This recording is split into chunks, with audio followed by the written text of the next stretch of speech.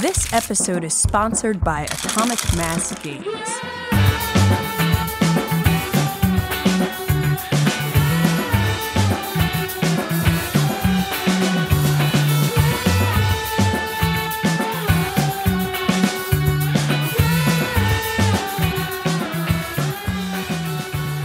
Hello and welcome to episode 30 of the Board Game Geek podcast, where we geek out about board games, the mechanisms behind them, and the people who create them. I'm your host, Candice Harris, and I'm super excited to be here today with Justin Bell, who's a board game reviewer for Meeple Mountain. How's it going, Justin? So good.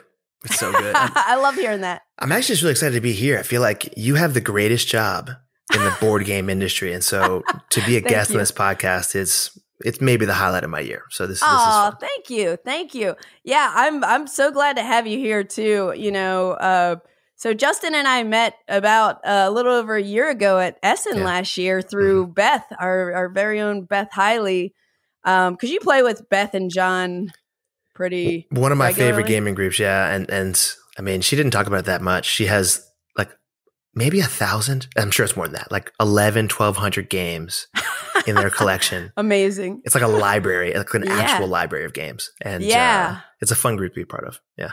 Yeah, and that game room, I know their their game room is pretty dope. Dope. Dope. Mhm. It is nice.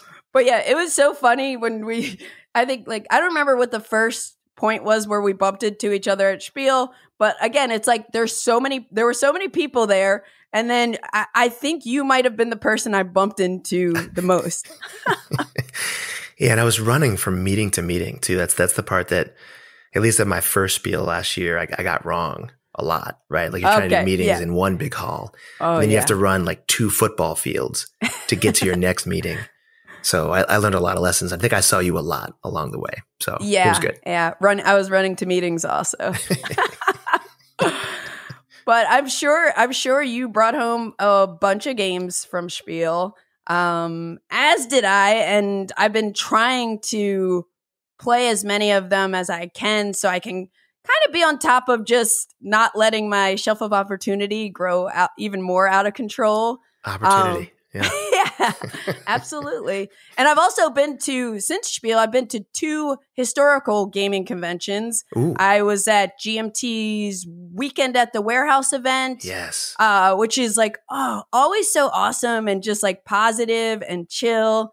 Uh, so I really enjoyed that. And then I also went to just last weekend for the very first time. Um, I attended SD HistCon in person, which was really cool because I've been a part of a few of their online events. Um, I'm a part of the the advisory board for uh, for SD HistCon and just trying to, you know, they're very they're very motivated and driven to kind of diversify that niche within a niche of like people who are playing historical board games Good. and war games Good. and everything. So um yeah, so I I love being a part of it and it was like so cool going to there in person. I mean, there were so many designers there. Uh, Matthias Cramer came out from Germany. Um, Cole and Drew Wehrle were there.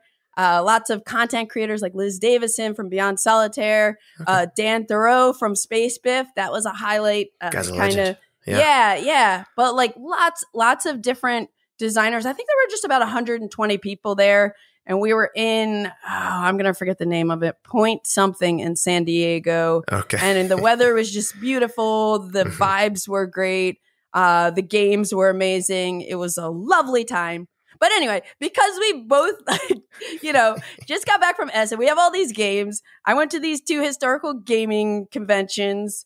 Today, we're going to do an extended fresh plays episode and just kind of talk about all these games we've been playing. Well, not all of them, but some of them. And I know, did you tell me you were like you've reviewed like something like 20 games in the past month? yeah. I mean, I, I, it's interesting, right? Like last year, I wrote about 140 reviews. Wow. And a lot of those games came from the haul that I picked up last year uh, at Spiel. And so this year I picked up, you know, it, I don't think it was crazy, maybe 50 games or so. But yeah, I've already worked through maybe 20 of them. I, I, I, keep calling this like games season because, and you're probably like this too, right? You come back from Spiel and everyone's like, oh, let's check out that hall, baby. Yeah. And so they yeah. want, they want, they want to see all the games you've brought back. Yeah. So in, in Chicago, where I'm based, it can be hard to find players in the summer months to go do things. But I mean, right around October, you name it, 10th, 11th, 12th, you come back from this trip. People are like, saw Let's you landed game. a couple hours ago. Let's game. When can you get to my house? so we can play some games. So it's been really easy over the last three or four weeks to get everything to the table, which has been been a blast. That's awesome. Mm-hmm. I'm I'm really pumped to hear about which games you've been kind of like finding interesting and which ones you've played. Uh, because I don't know that we I'm sure we had some like overlap in what we brought back and what we were yeah. excited about, but I don't you know, no, I'm sure we, we haven't played the same things exactly. So, mm-hmm. hey, hey, let's jump into our extended fresh plays.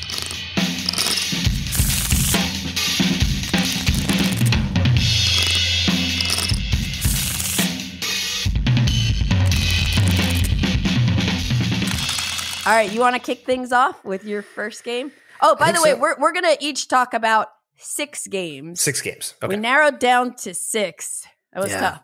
And that wasn't easy, right? I mean, it was there, not there were a lot of games that that um and you're right, I ran into you a few times we talked about this, right? It, it's it's so hard to prioritize what games you want to table when you first get back from Spiel. Um yeah.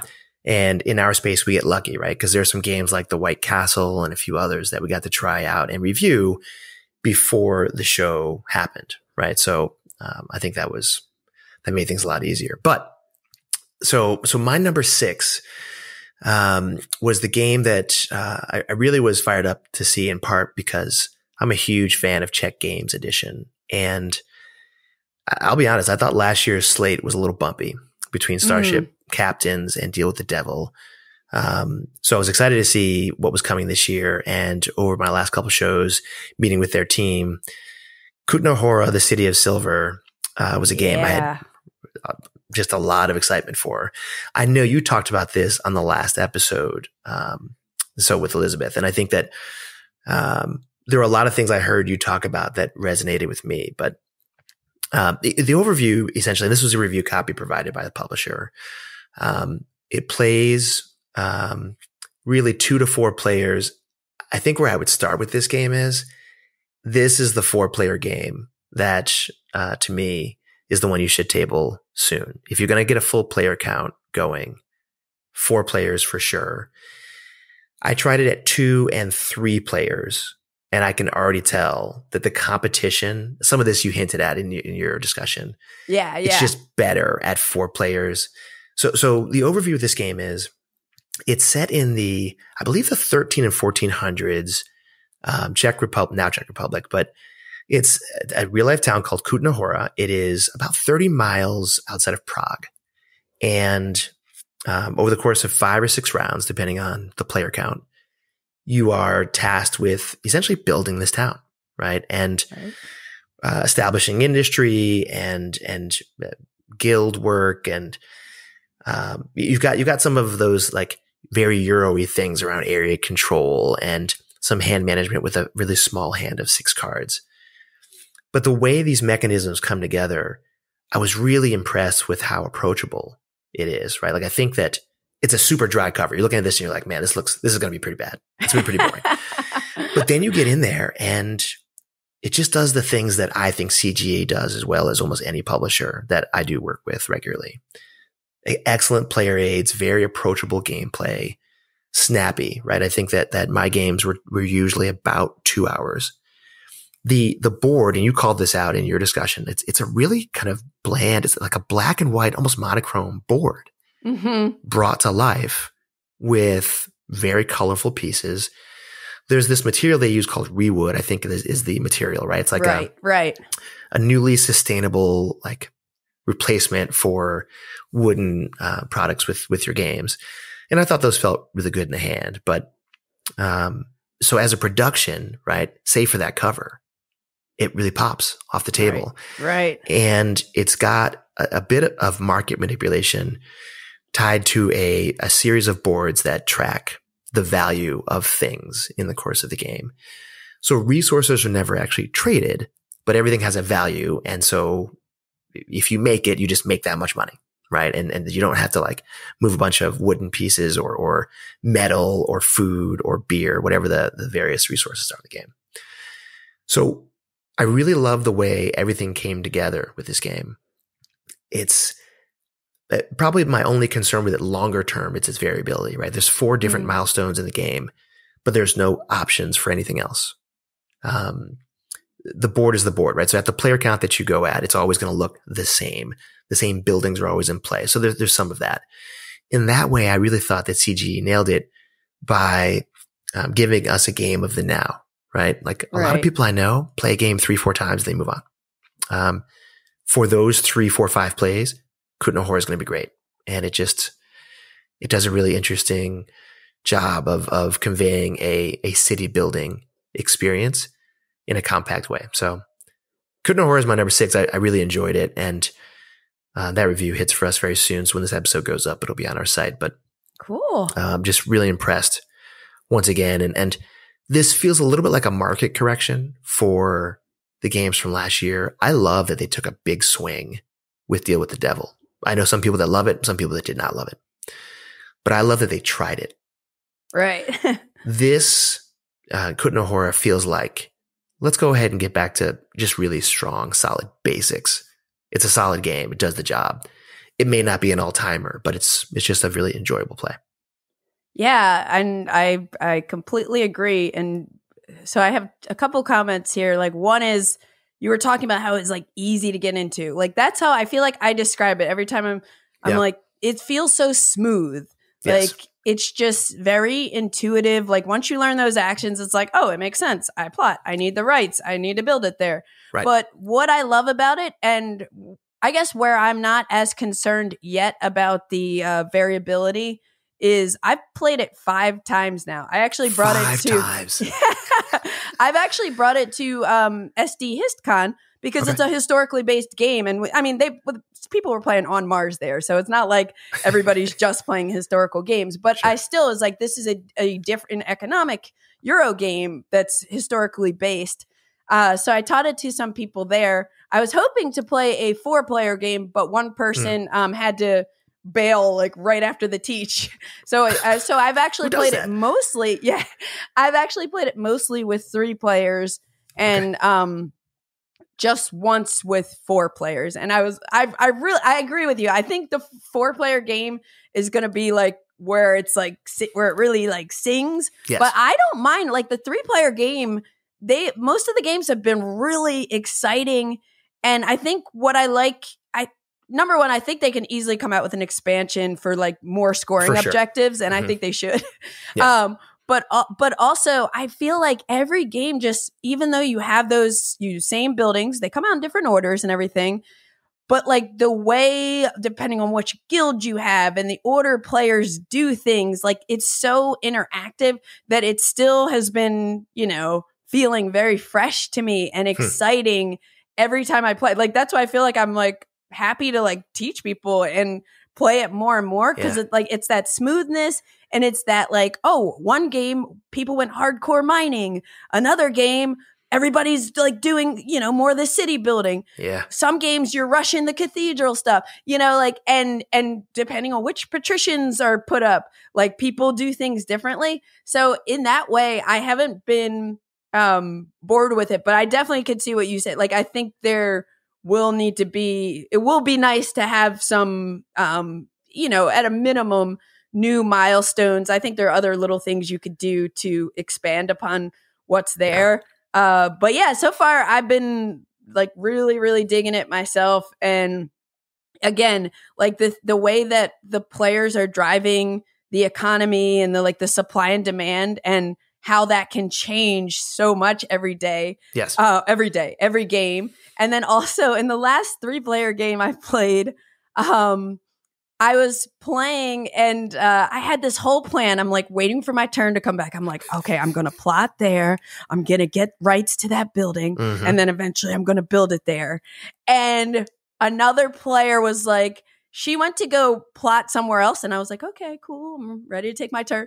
Then she changed her mind and plotted No. right where I, I was like, oh, no. she snaked you. No. Yeah.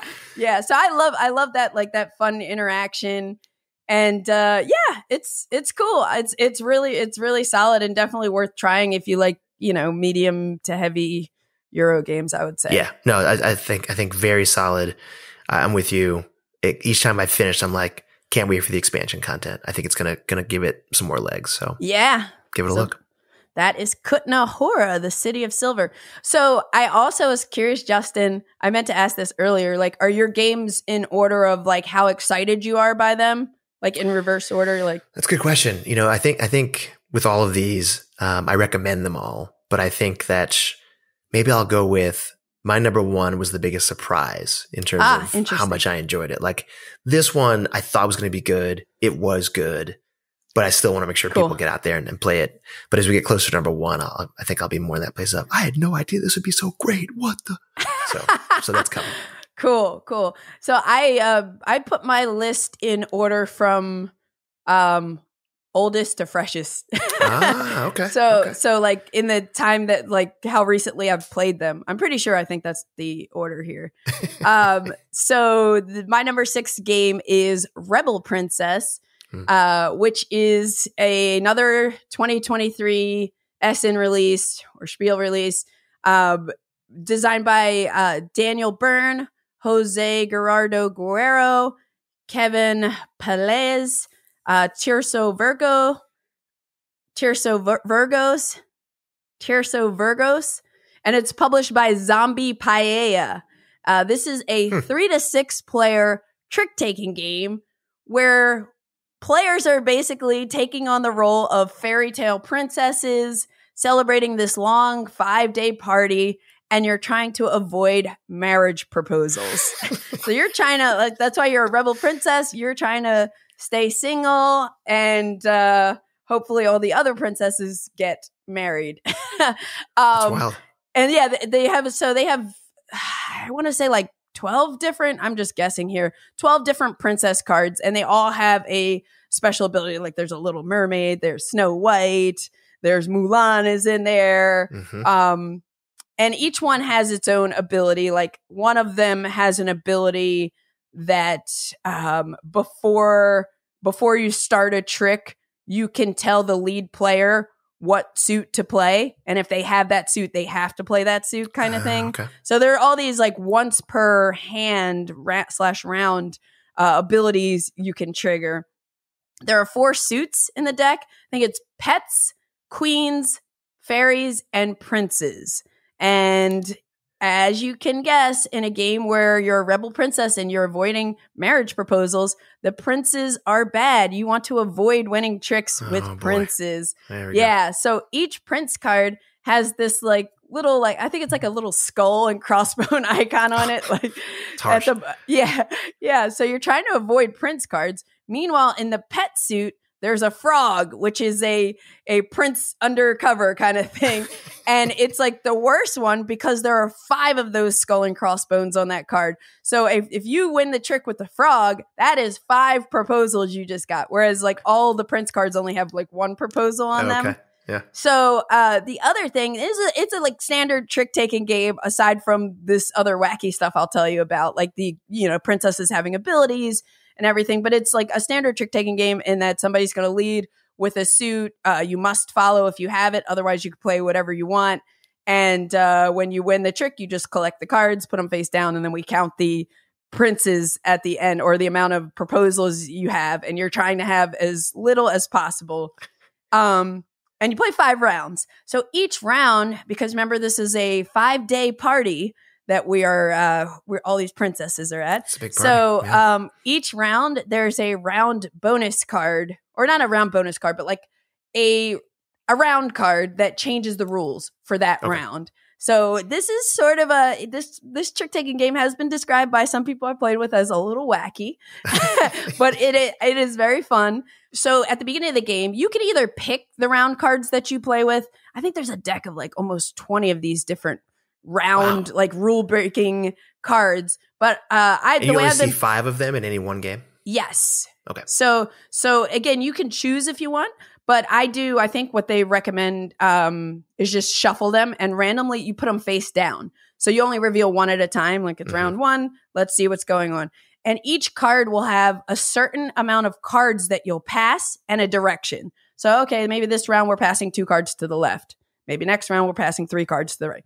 But it also will have some kind of like little thematic part of the story, but it's a, a rule breaker. So, Okay. for example, the one I can think of offhand is before you start actually playing tricks, you're going to take your hand of cards after you pass to the left or right or whatever. You're going to take your hand of cards and divide it into two piles. You're going to play the first half of the round with just the one pile. And then the Mm. second pile, you're going to pass to the player on your right and then play the second half. And there's another card like that where you don't pass, you play both hands, but it's just that you're dividing your hand. So what's that mean? Like a lot of people are going to be like probably short suited on things. So it could be like, you know, a, a little bit wild and like what is the timing of how many uh, pet suits you put in because you don't want to win that that frog card. No, no, no. so it's like they're- no.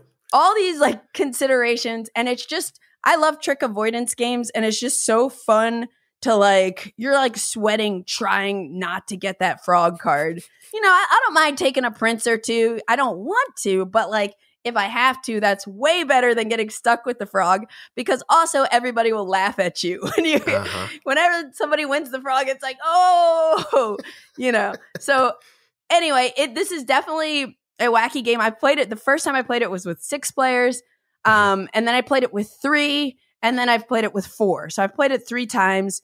I have I have actually enjoyed all three player counts. Okay. I definitely will say it's a little more chaotic with six, but it's Yeah. fun, you know. So if if you like that kind of like a little bit of chaos and fun, like it was super cool. Like we wanted to play it, you know, the people who played that six player game, most of them were like, "Oh, I want to play this again. Let's play Rebel I definitely again." prefer chaos, and it sounds like I think I'd want to try this at six the first Yeah. time around. Are the rules any different, or is it just I don't Just think. I think you take out some cards, maybe uh, for the you know. Dep- yeah, you do.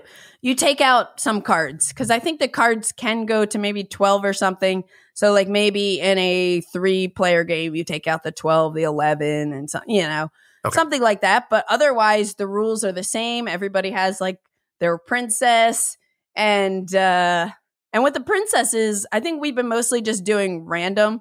Um, but I think the rules say you like lay out all the princesses and everybody takes one, or you can like give people two, let them choose, okay? whatever. But it's like the combination of the abilities of the princesses and the the round rules is really really fun. How long does it play?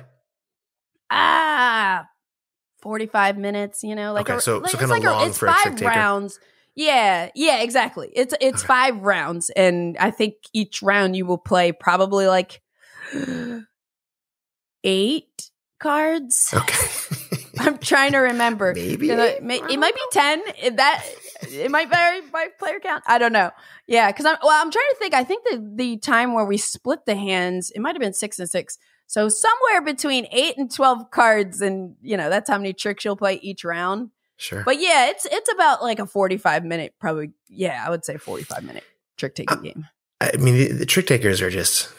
Um, a, a friend of mine here in Chicago, he jokes. I think it's called the. He calls it the trick connaissance. Maybe. Uh, The, the- Yeah. I mean, it just feels like these games are Renaissance right of trick taking games. Yes, yeah, it's it's crazy. Um, but the usually the production of these games is what draws me in. Uh, How like the card art? Tell me more about like the look and feel. Oh yeah, Yeah. yeah. The the card art is really solid. Mhm. Um I'm trying to it's it's kind of like cartoony cuz right, they're not uh they're not Disney princesses. These are uh so, you know, they're kind of spin-off versions. Like your Li- Little Mermaid is not going to look like Ariel, but she's a mermaid, you know. okay. Um, but it's kind of like playful, not too, not like kitty looking.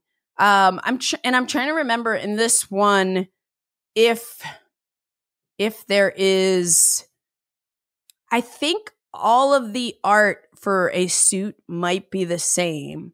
Hmm. Wait, so there's Which- wait different artists that that do each suit?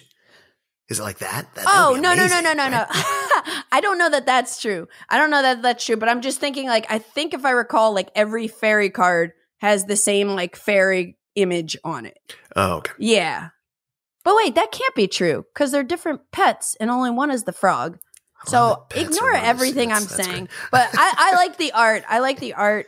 I ended up um, sleeving the cards on this one just because um, it's I don't know how easy it is to get, and uh, I see it. It's it's something that's going to get a lot of play. Just for the listeners to know, because because we're on camera with each other right as we're recording, is I react violently to the term I sleeve the cards. I, I am not a card sleever. So uh, just for the record, for the record, yeah, set the record straight. Mm-hmm. I'm a 50 50 sleever. Okay. It depends on how the cards feel. Sometimes I'm like, I have to, like, all of the uh the Great Western Trail cards are like too thin feeling. So I like to sleeve them. Meanwhile, on the other end of the spectrum, there's like GMT's games. Most of them have these like really thick cards that sure. are that are like almost hard to shuffle till you like break them in a little bit, but they're like really yeah. yeah.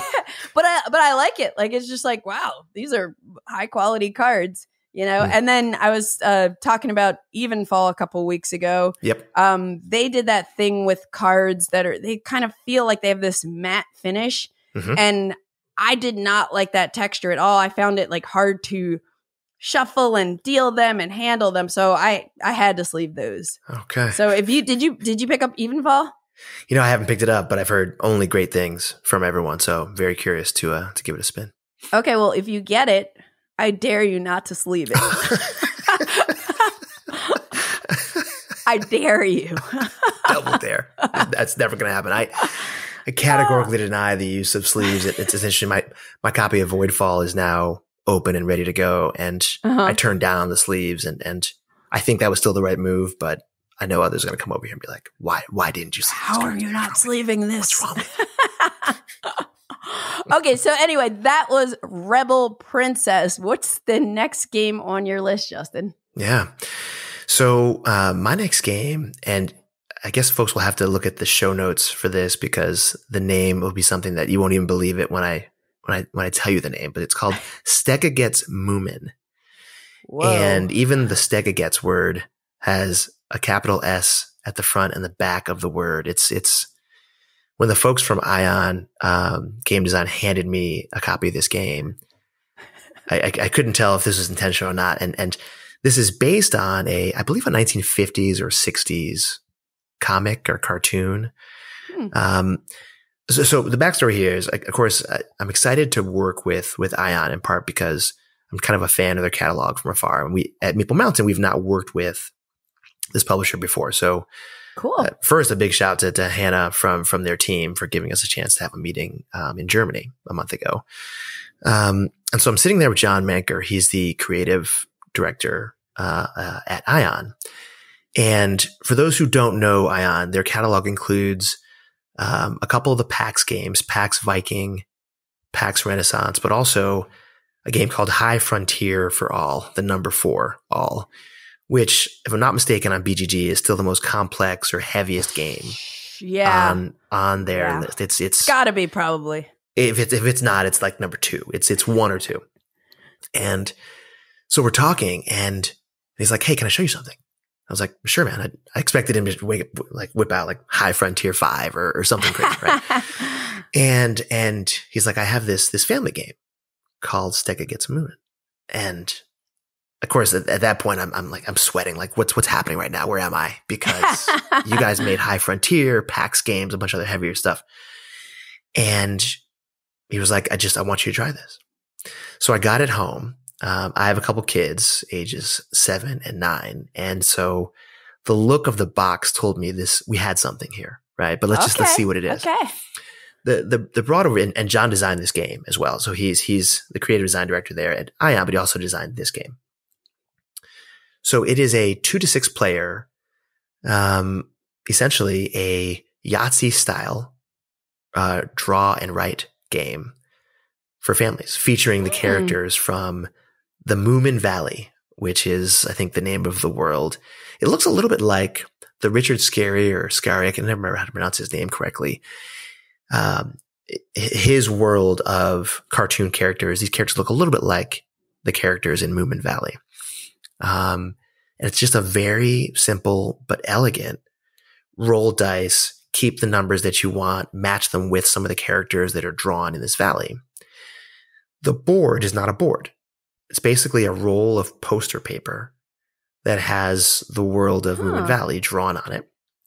And the back of each sheet, and I'm loving when, when, when publishers do this, the back of each sheet is a different picture of Moomin characters that can be just colored in when the game's over. So, oh, cool. Do that when you want. That's fine. But during the game, it's a 20 to 30 minute play. Chuck some dice, and um, you're coloring in characters that your dice match up with. The, the scoring system is, is really cute. The way the scoreboard is aligned with the outside border of each one of these sheets.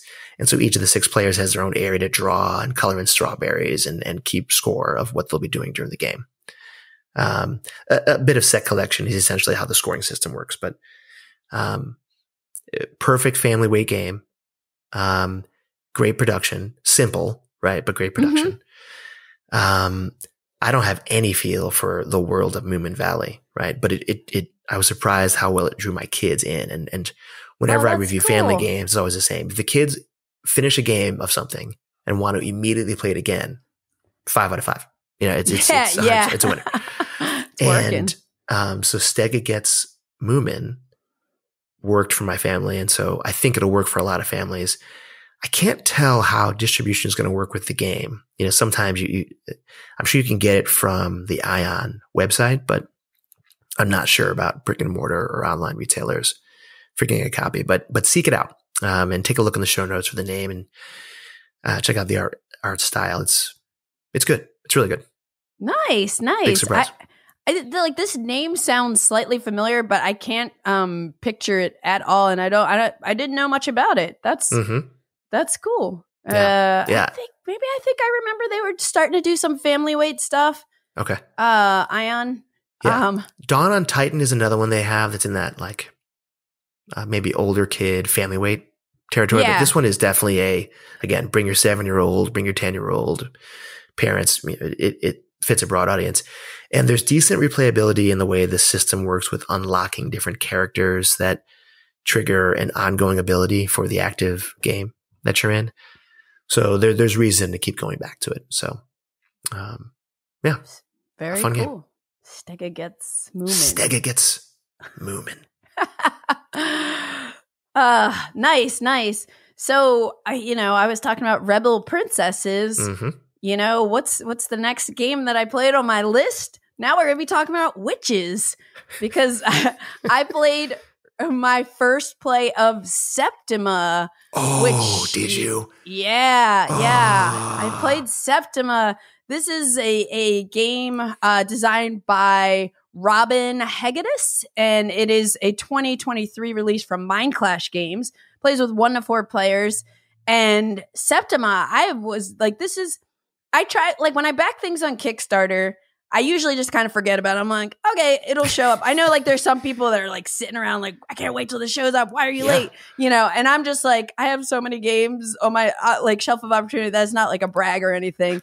Like, trust me. But it's, it's just curse. like, yeah, I, yeah. it might be a curse. Uh-huh. Exactly. Uh-huh. But I have like, I just, I can't even think about like sometimes that even though I am excited in the back of my mind, I'm like, oh, that's going to be, that's going to be good. But anyway, it finally showed up and it is absolutely beautiful. Uh-huh. Um, like it, this is another game. You know, we were talking about the kind of unique look of uh, Kutná Hora, but mm-hmm. this this board has a very unique look and feel. And I'll just I'll just say up front, like I think Mindclash always crushes it with their production quality. No mm-hmm. Like you know, the, between the art, the components.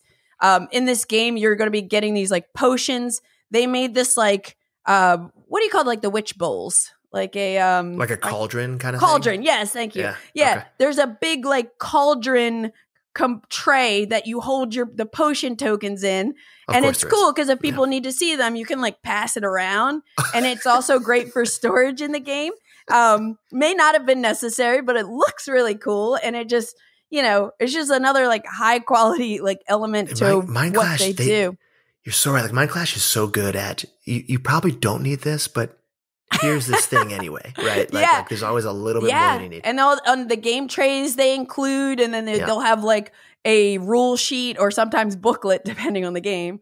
Voidfall. Mhm. um, that shows you how to like put all the trays back in the box, which is so helpful because you know there's some games you get that have trays, or even if you like buy an insert, but sometimes if you don't know how to get everything back in, that can be frustrating. So I love that they Mhm. include a sheet that's like a little rule sheet of like you stack this on top of this, you put these tokens in here.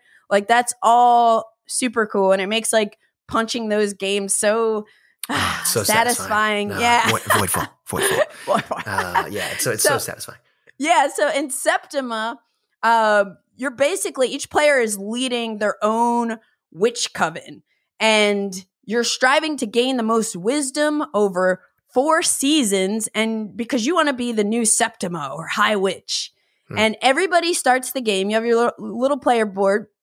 You start the game with two witches in your coven, and these witches, there are 24 of them. Something, yeah, there are 24 of them in the game and they all have their own little special ability. So I have my combination of two witches, uh, you know, you'll have your combination and they each each witch that I have has a different ability. So off the bat like every game you're probably going to have a different pair combination of witches that's going to make how you play feel differently Do you, do you Um, draft them or are they are they selected randomly? How do you get- randomly. I'm pretty sure Okay. it's, we did it randomly. I'm pretty sure you uh you do randomly, but I, maybe there's a draft variant, or you you certainly could.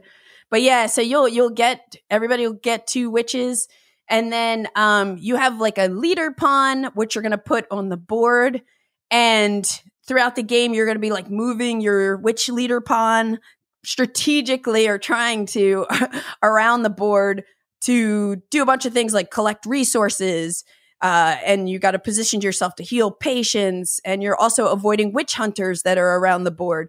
So there's a whole uh, element to the game where you're the timing of where you move and how you're moving and being at the right place to do certain actions matters. But overall like the gist is you are collecting resources. I think there were like five different types of resources. Mhm. and you're spending resources to brew potions um, and then you're using those potions to heal patients um, because we're good we're like really helpful witches or we're trying to like do good things in town. Right. and the different type there are three different types of patients blind infected and paralyzed I don't think of witches like going out and healing patients or like, you know, hitting the local clinic. I don't I don't think of that as like like standard is- witch It- hey, activity. that is what Action. is happening. That is what is happening. And some of the potions you can make in the game um, are just specifically to help heal those three different types of patients. Like there's one to help the blind patients, one to help the infected, one type of potion to help the paralyzed. But there are also like I think three or four other potions that you can brew with your uh, the different herbs you collect, the, the ingredients um, that have other abilities. So you can you know decide which kind of potions you you want and and need for whatever your goals are. And the way the the the actions work in this game is you have cards. Again this is similar to Kutná Hora uh, you're going to be playing cards to select what action you want to take. You have nine cards uh, representing the nine different actions in the game. And in this game i think if you play like kind of the standard game you'll play ooh i don't remember how many actions you'll play actually but i think you play a number of cards and then at the end of the round you get all your cards back. Right. so usually like when you play it it sits on the table can't take that action again can't take that there is one action called remember that will let you play an action you already took Okay. But we we played our game with um, the modular expansion, the shape shifting expansion. So, in order for us to get our cards back, it's not just end of round, you automatically get your cards back. No, you have to choose when to shape shift into one of your two animal choices. So, I was playing orange. So, I had a squirrel that I could shape shift into and a fox. So, so you- I would play you play a card and that's going to say, you know, you're going to pick up all your cards and now I either become this fox or this squirrel.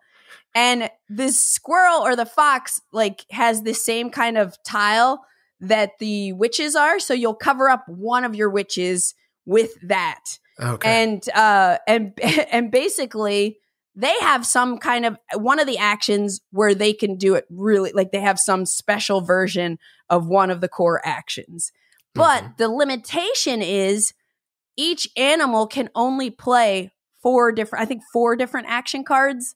So if I'm a fox, I might not be able to heal patients or you know, I don't remember exactly which actions are restricted on which animals, but there's some limitation there because otherwise it'd be like, why would I ever change from being an animal with this like cool, powerful abilities? Right. But um, that's like mainly what you're doing in the game. Um, then when on the board, each space, like there are all these different spaces you're moving, like a point to point movement situation. But they mm-hmm. some of them will have like a resource or two.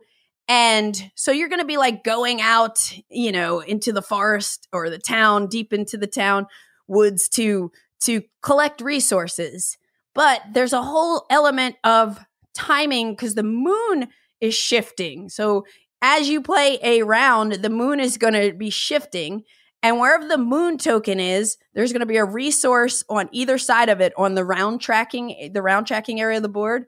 So you can only collect resources of the two resource types that are uh, adjacent to the moon. Okay. So you have to think in advance, like, Mhm. hey, if I'm going to try to get resources next round, I need to make sure my witch is positioned to be able to hit this space so that I could get as many of those resources as possible. Because I think before you take your action, you always can do one like quick move with your witch.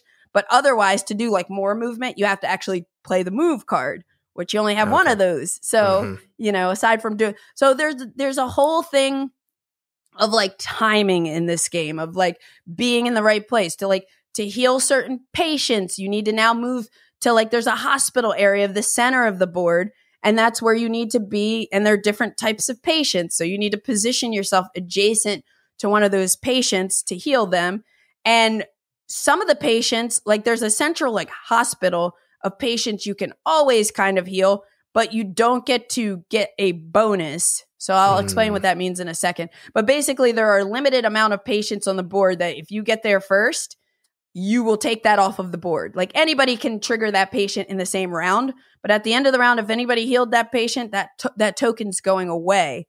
And like I said, you can always heal patients uh, like spend potions to heal patients that are just like in the hospital.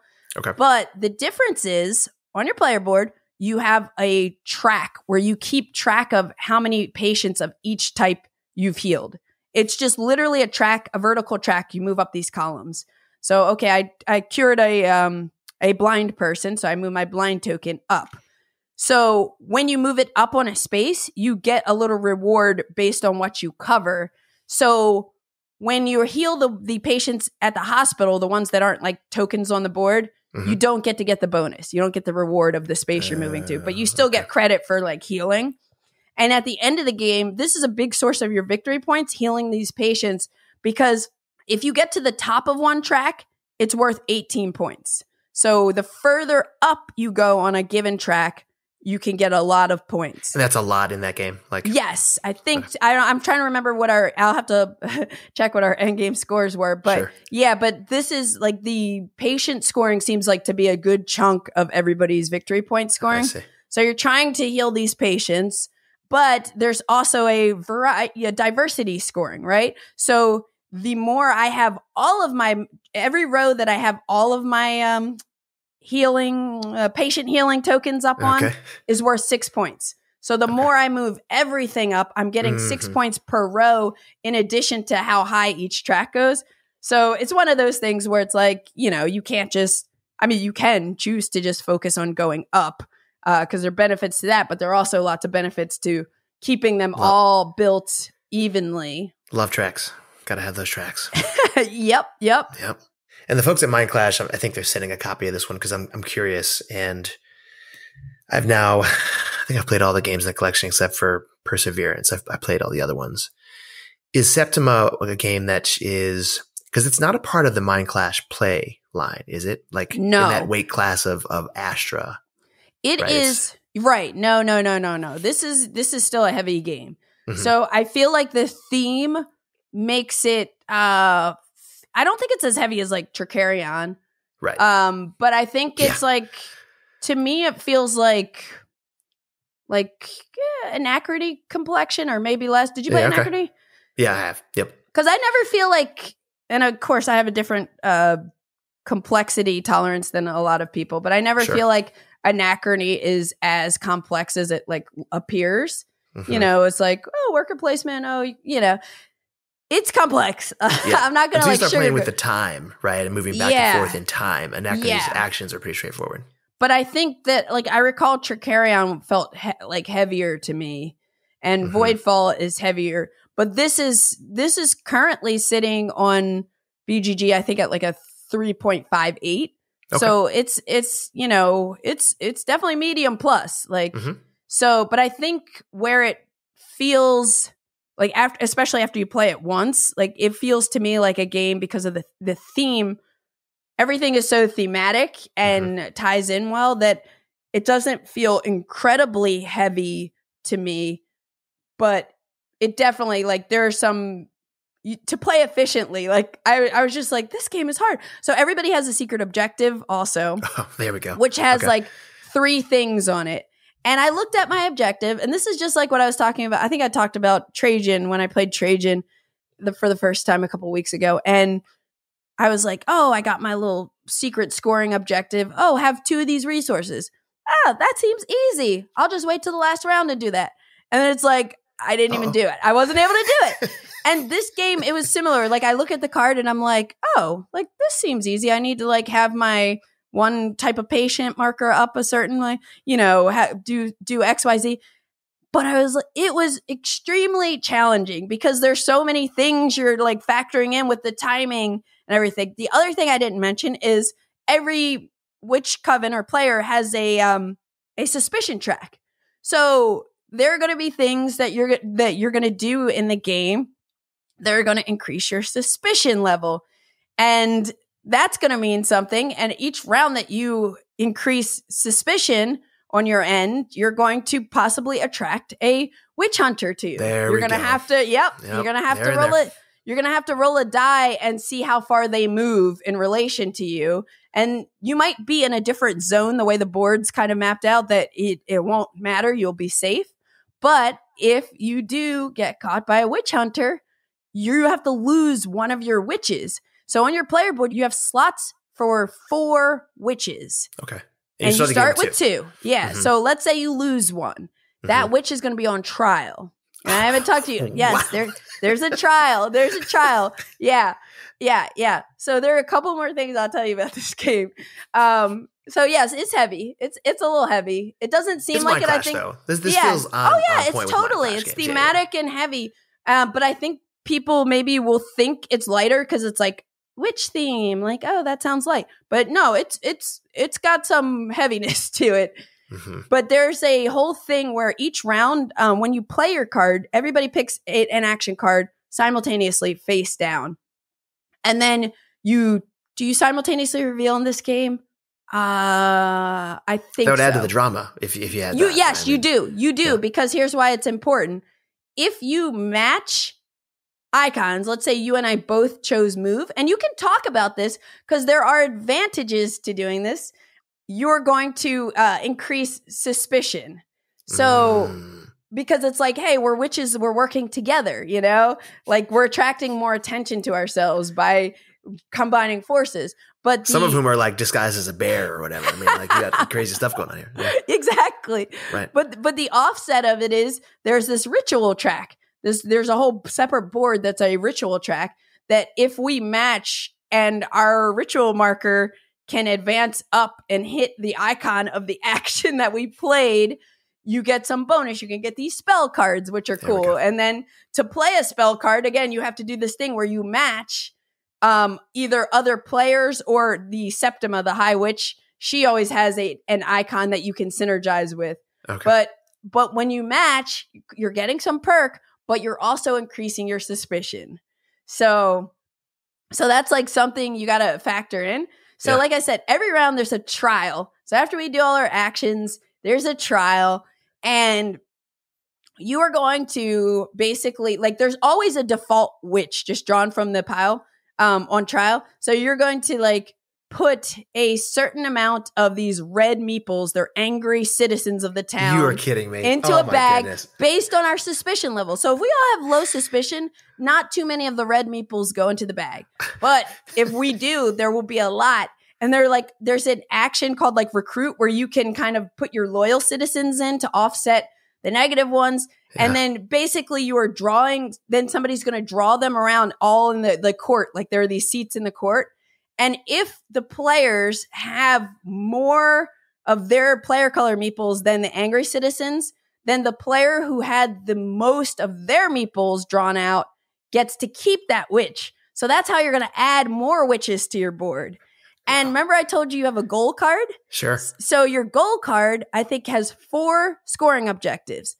The amount of scoring objectives you can actually score depends on the amount of witches you have. There it is. So there it is. Right. yeah, so at the end of the game, I I beat someone's score uh, because I denied them of getting a third witch, so they couldn't score a third objective. So Mhm. there's something there. But anyway, yes, you, as you a can see, there. there's a lot. There's a lot going on. This is not like a, a light game by any means, but I think it's very thematic and like really like everything you do is intuitive. So even if you're someone who doesn't play a lot of heavy games, but you're intrigued by this theme, I would say give it a go because I think once you start playing, it doesn't feel like everything feels thema- thematic. Like, oh, I'm putting somebody in here for the trial, and you know this, you know, the witch hunters we're attracting them because we're combining forces to do stuff. You know, I'm healing, I'm collecting resources, I'm healing patients and making potions, and then you know, so it's like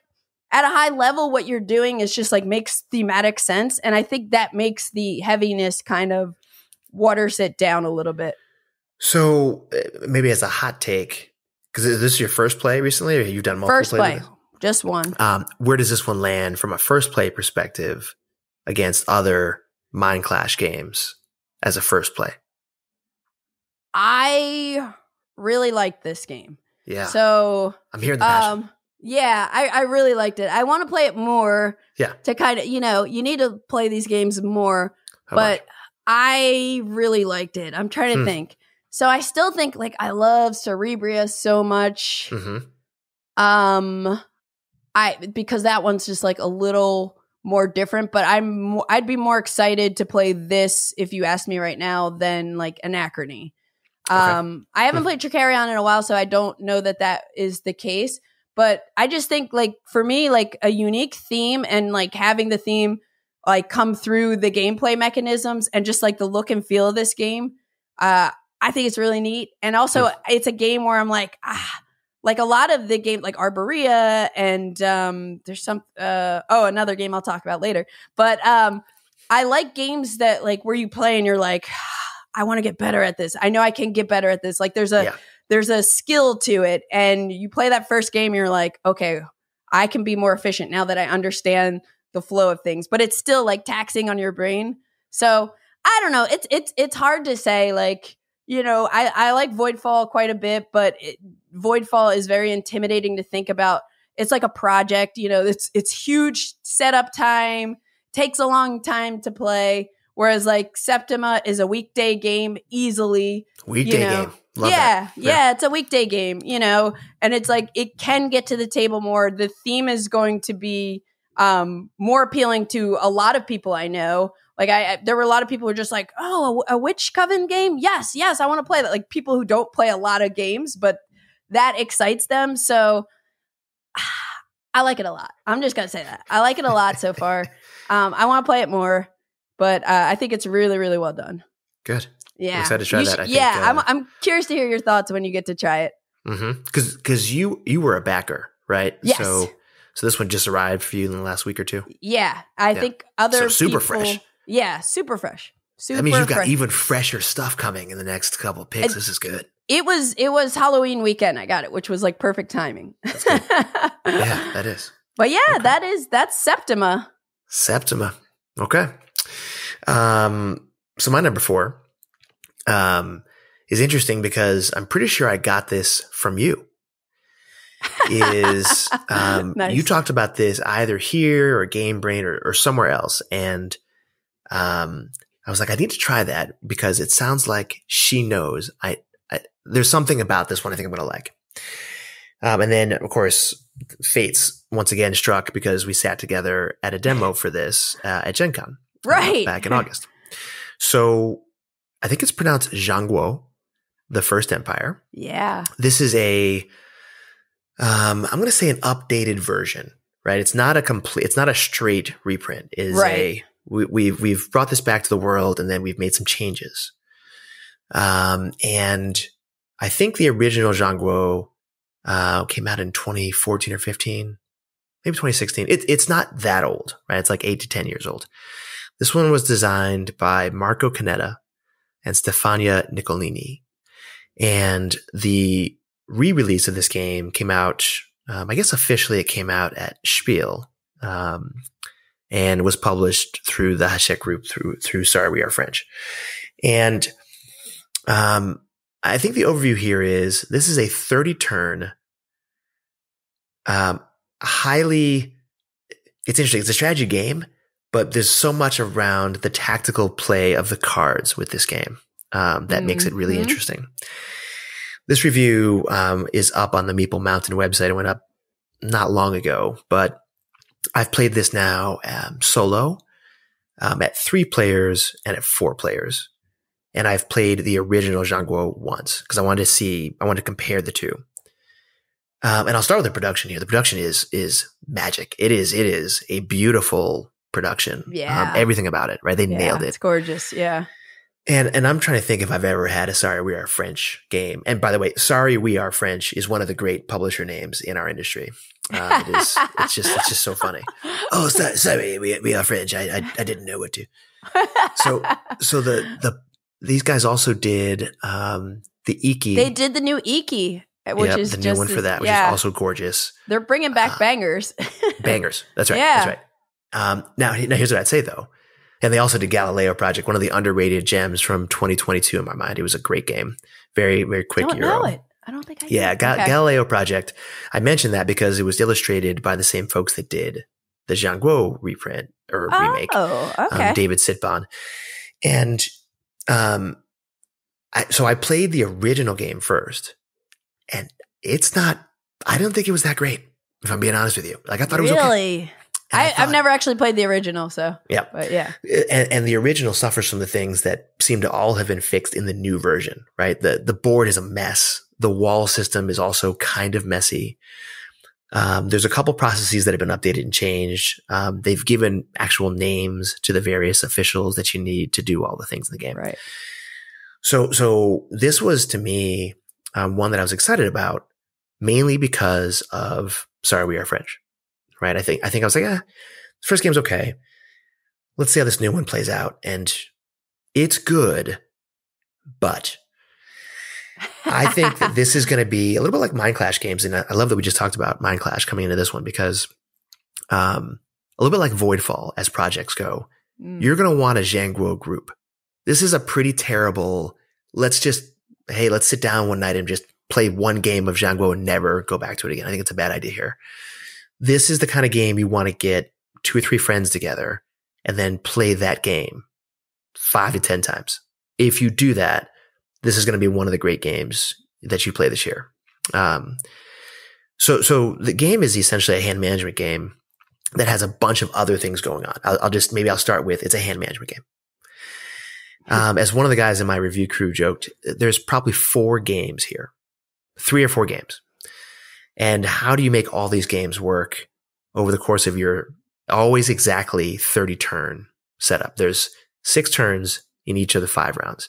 Each round you get a hand of six cards that are numbered from one to 120. They're all uniquely numbered cards and incredibly well illustrated cards. The cards are on your turn. You're allowed to either tuck a card in your player board to essentially increase the capacity of bonuses that trigger on your board. Or you play the card to this center court area. And then based on the number of the previous card played into that, that court, you can do whatever you want with the card. You can take any one of the game's six main actions by playing any card in your hand. But the only way the bonuses trigger is if you do a certain action and then play it as a number higher or lower than whatever number is out there. And that leads to one of the things I love about games, right? This is actually why I love games like Brass or my number one for this year so far, which is Hegemony, um, is you're staring at your cards and each turn you're like, I can't do this. I just, I, I, can't do this. Like every turn, you're, you're, you're trying to find a way to trigger, like trigger all those bonuses, but also do a thing that might close my good friend Candice out of being able to trigger bonuses on her turn. Right, right. Et cetera, et cetera. and so, so that part is a game. You've got like governor scoring that does air, some area control things. You've got some terracotta soldiers that trigger milestones. That's another game. There's a wall scoring system and to get there first, that multiplier gets you a bunch of points at the end of the game. Like there's, there's just, there's a bunch going on. Yeah. And you got to manage like unrest with the citizens in, in, your various territories. It's doing the rules for this game is also why you're, you're going to want to find a group to play this with all the time because a teach of this game is an hour in the wrong hands. That's probably the other, the other major downside for me was solo was really snappy. I think two players is probably, I didn't play it at two players, but probably a good look. Three players is probably where this game lives because four players, two of whom, even two of them, if they have a lot of what we, we call like, like, like analysis paralysis, right? If two of those folks have AP, you're dead. It's, it's a three, three and a half hour game because you're, you're talking about 30 turns per player. so yeah, 120 yeah. turns. So, so that might be enough for some of the listeners here to be like, yeah, you know what? I'm out. But, but I would say, I think that the, uh, the hand management and the card play in this game is why you check it out. And then while you're sitting there, you get to look at a gorgeous production. So, yeah, um, recommended, but with the caveat that I think you really want to make sure you have a group that's willing to play it again a few times just to give it a, enough of a chance to really shine. Yeah, I I would I would agree with that because I know my first play of Zhanguo First Empire. Um, my first play was very like with actually we had I think we had three new people and one person had played the previous version. Okay. And it was funny because um my friend who had played the previous version was like throughout the game like oh i like this version better oh i think i like the first version better oh like he was having this thing and mm. even like days later he was still trying to assess what he and he's like he's i think he's his last plan was to get the new version and maybe make some hybrid version of what he because there's like something he like liked. house rule it to, yeah, to his satisfaction. There, there, was some there was some aspect of it that he preferred in the original game, but overall like the new game and the new game adds that whole like is it like the the river section yes. on the side? Yeah, because they yeah. that wasn't in the first one. But and yeah, that could I, be divisive, I think, for a person that has seen the old game because yeah. this is a new, essentially a new mechanic. Right, mm-hmm. right. And so I I ended up, I think when I played this, I played it back to back, like within a couple days. So nice. I, Smart. but with different people. But for me, it was so much smoother that second play because of everything you just said. Like there's a lot going on. There are all these like mini games. And I feel like it's definitely a game where you want, you probably should just try to like focus on one thing a little bit. Mm-hmm. Um, otherwise you could just get like lost, get a bit lost. But I think it. Yeah, I, I agree. It's it's excellent. I think it will be more rewarding the more you play it, where you don't have to um, teach. Uh, I didn't find the teach to be that tedious uh, because I think, like you know, like you said, there's six main actions that you're doing. Mm-hmm. Um, I think the the harder part is like just figuring out what's the right thing to do because you do have all these ways you can score points and all these of implications of what cards you play and don't play and when you tuck cards and this but um but I, I i like it a lot. And the original publisher was uh what's your game uh who okay. made nippon which i love and mm-hmm. also uh madeira. And i think they I like madeira yeah. Yeah yeah i think they're like that publishing company was just on to some really really interesting euro games uh, but that's why I'm so glad. Sorry, we are French um, is like reviving some of these games. Like, oh, I love Iki. I love Iki. I, I think that Sorry We Are French is moving a little bit like Mindclash for me into that territory of there's a game coming out. I'm, I'm automatically either interested in, in reviewing it or buying it or, or whatever it is. Like it's it's it's going to be quality. Um, so let's let's check it out. So this yeah. is heavier than their other stuff. Totally, this is heavier yeah. than, than Iki and other games, but um, yeah, very good. I I think, and I'm curious to know with the people that the person that you mentioned that had already played the old game. In talking to a couple other people, this to me replaces the old game. I, would be very surprised if you had this version and the original Zhanguo and then said, yeah, you know what? I'll keep both around. Right. Just, uh, to me, the, the new one, there's, there's no need to have both. Right, right, right. Yeah. It's, it's just there, like, there's so much more variability and everything. Yes. But yeah, it is, this is like, if you're into heavy Euro games, like, this is very unique. And uh, yeah, I dig it. Zhang. Give it a look. Oh. And now, a word from our sponsor. Marvel Crisis Protocol is a tabletop miniatures game that lets you assemble a team of heroes and villains drawn from across the Marvel Universe. Choose epic heroes like Captain America, Iron Man, or Black Widow, or recruit powerful villains like Ultro and Doc Ock. Mix and match your favorite characters to form your dream team and make them your own as you assemble and paint highly detailed miniatures. Whether you decide to paint your heroes and villains in their iconic comic book styles or follow your imagination, Marvel Crisis Protocol is your chance to build and create your own one of a kind Marvel collection. Once you've assembled your team, it's up to you to lead your squad to victory by using each character's abilities to maximize your team's full potential. Join Join the fight today with Marvel Crisis Protocol Earth's Mightiest Core Set, available now at a local game or hobby shop near you. Okay, so my next game, uh, now we're jumping into the past weekend at SD HistCon. Here we go. Um, I bought a game months ago, months ago, earlier this year, I think, yeah, called Land and Freedom: The Spanish Revolution and Civil War. And I just heard good things like I think David Thompson, uh, one of the designers of Undaunted Normandy yeah. and a bunch of awesome games. I think he was talking about it and was like really digging it. And I was like, oh, okay, I got to get this game, got to get this game. Got he was it. there at the convention, right? Yep, he was there too. Yeah. I'm surprised he had time to play any games because that guy, it seems like he's always putting David, out games. Uh, guy's yeah. always putting out games. Always putting crazy. out games. Yeah. Um, but and, and actually, I brought this because I was talking to you. Know, he messaged me um, and was like, "Oh, I'm looking forward to seeing you there." You know, and I I, I mentioned Land and Freedom because he loves it, and he's like, "Yeah, he's like the designer. Alex Knight is going to be there. We should all three play." As it worked out, or didn't for David, uh, I ended up finding Alex when David wasn't around, and um, so I ended up playing like it, there was like just the right moment that I was with my friend Lauren who came from LA with me and uh, also another game designer who was there um, that I met uh, Natalia Wachtowicz Wojtowicz. Okay. Oh, mm-hmm. I'm so sorry, I'm not pronouncing her name right, probably, but she is a war game designer and an author of a book called Wargaming Experiences. She hmm. worked for NATO at some point, and now Whoa. she teaches. that's some street cred, man. Yeah, she teaches like wargaming design at Hague University. So she lives in the Netherlands now, and uh, she's super cool. So she was she flew out for SD HistCon, so I got to meet her, and we hung out with her quite a bit. So the three of us were like sitting around like, oh, what should we play? And Alex was around. So I was like, Alex, could you teach us your game, Land and Freedom?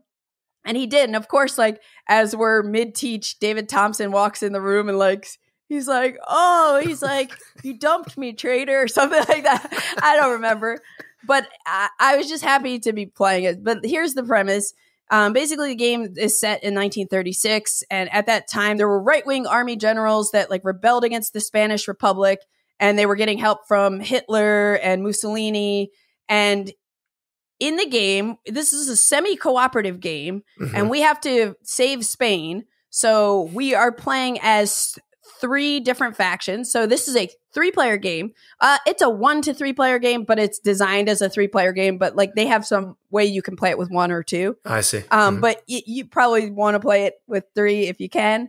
Uh, I don't know. I mean, I would maybe try it the two player mode, but we played it with three. So I was the anarchist, uh, Lauren was the communist, and Natalia was the moderates. And we basically have to kind of like put aside our differences and try to shut down fascism in Spain. And we're trying to like save Spain because if fascism gets out of control, we all lose the game. Okay. If we're able oh. to, you know, keep things in check a bit, then only one player is going to win. And uh, the way victory works in this game is very unique because you have like we have each like a set of our own like little faction tokens and throughout the game the more you have the initiative um, you're going to get to add your token in this bag um, it's a little sack you know okay. and at the beginning of the game we each put one of our faction tokens in there but during the game we're going to try to keep the initiative for our faction so that we can put another token in here and there and put a token you know so there are different things you do in the game that let you put these tokens in and at the end of three, each year, so it's you play three years or three rounds. Um, at the end of each year, you're going to pull a certain amount of tokens out of the bag and put them into the scoring area. So there's this area. So in year one, you're only going to pull one token out. In year two, you pull two. I see. Then there's this like cool final bid thing where we get to bid for a spot. So you'll put one there. And then at at the end of year three, you're going to pull five tokens out. And basically, whoever has the most of their tokens on the in the scoring area is going to win, assuming we don't let fascism get out of control. okay, so this There's game, that, I guess, yeah, yeah. so this game is a card-driven game. Think of Watergate, Twilight okay. Struggle. Mm-hmm, if, uh, mm-hmm. You know, I know Watergate was very yes. popular. Uh, uh, of course, Twilight Struggle also, but it, that's a heavier game, and I think Watergate hit a wider audience but it's that kind of game where each player has their own deck of cards. So we have our own little faction deck of cards. And then we have five tracks on the main board. Tracks. That, yes, there where we are going to be doing like a tug of war kind of thing um, through the cards we're playing and events we're triggering. Uh, again, similar to something like Watergate. You know, you're pushing and pulling on that that that track there. Okay. Um, so there are five tracks, and each player cares about each faction cares about two tracks. So, like I, as the anarchist player, cared about liberty and collectivization, and they were fighting over government control. Um, but then also the communist player uh, wants to like boost up the Soviet support track, and then the moderates player wants to boost up the foreign aid track. So we're doing things throughout the game to push and pull on these these different tracks. But I mentioned you put one of your tokens in, which is how you're going to score uh, mm-hmm. based on having the initiative. So for me, I needed to have my uh, collectivization and liberty tracks up to a certain number. And if if it was like high enough on both tracks, not just one, then I have the initiative. If I'm lacking on either one of those tracks or both of those tracks, then we're going to look at the government and see does do the communist does the communist player have the government on their side or mm-hmm. the moderates and then that's that player gets the initiative. So we're fighting over initiative, but meanwhile they're on the left side of the board there's a map of Spain and we have these different regions where you're going to be putting these uh like fascism tokens. It's representing like armies or uh I guess um they're Not the like spread like, of fascism it's like, like it's, a- it's like yeah, it's like fas- fascist attacks kind of, but they're just tokens. So we're just counting the number of tokens there. And each turn, so each year you're going to be flipping four cards one at a time. So you flip a card and there's an event and it's going to tell you to put a certain amount of fascism tokens in an area. Okay. So maybe Madrid gets we have to add 5 to Madrid, we have to add 1 in the north. So we're adding these tokens for every token that's there on the gray side, that's a negative point for us. It's bad stuff for us. And on that same event card, there's going to be a test at the end of the round. So it'll say something like, you know, like maybe we put five tokens in Madrid. So if at the end of the round, if we're able to get Madrid to plus one, meaning we've cleared all those and we've added more anti fascism tokens or whatever, then we get some good reward. Sometimes it'll okay. impact all of us, sometimes it'll just impact one of us. But if we don't do that, then there's a negative effect. There so we are all like, how much do you want to contribute to doing that? Like, we should probably take care of that. Because if at any point, any of the like four regions that are in the game have 10 or more points uh, of fascism tokens, that is defeated. That area is defeated and it cannot be fixed. And if two Okay. areas get defeated, we lose the game. Or if we lose Madrid, we lose the game. So so we have to each each each time we play a card, you know, this is happening first. So Hmm. then after we res- uh, add the tokens from that event card, then each player um will secretly select a card face down and once again I think this one we just reveal on our turn. So in turn order, first person will say, Yeah, "Okay, this is There's the no card like, I big played." reveal all Yeah. three at the same time. Yeah, so the whoever's whoever has the initiative will go first, and they'll decide um, if they want to play the card for whatever the event says. And when you play it for the event, you you remove it from the game, or you add it to your tableau. And this is something new. I've played a lot of card driven games, but this game, when you add a card to your tableau, you have like an action point value at the top, and you also each card has a certain amount of these little icons that usually bump tracks, but they might have other effects. So on a future turn in the same round, if I add another card to my tableau, I can trigger all of the uh, one type of icon on these cards. Um, so you're doing this like engine building thing throughout the round, which is uh, really cool and clever for a card driven game. But a lot of what you're doing is either taking care, like removing these uh, fascism tokens or mo- moving these tracks up and down. And each of the tracks have other things, like when it hits a certain level, maybe it bumps something else or there's some other kind of impact. So after we do that, like after everybody resolves a card, then we would flip another event, like put more tokens out, you know. Oh, you would re- resolve the test also on each card.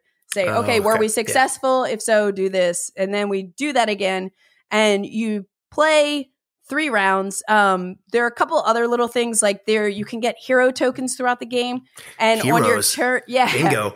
yeah, you can get hero tokens, and these can be spent on your turn to do bonus actions, uh, such as either getting another track bump.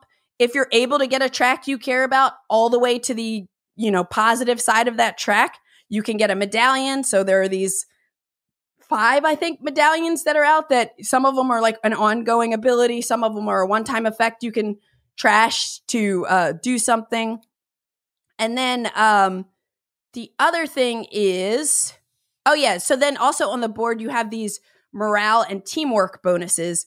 So that was really cool because at the beginning of the game, one of them's turned off, and that's another thing you could spend hero tokens uh, tokens on to turn it on.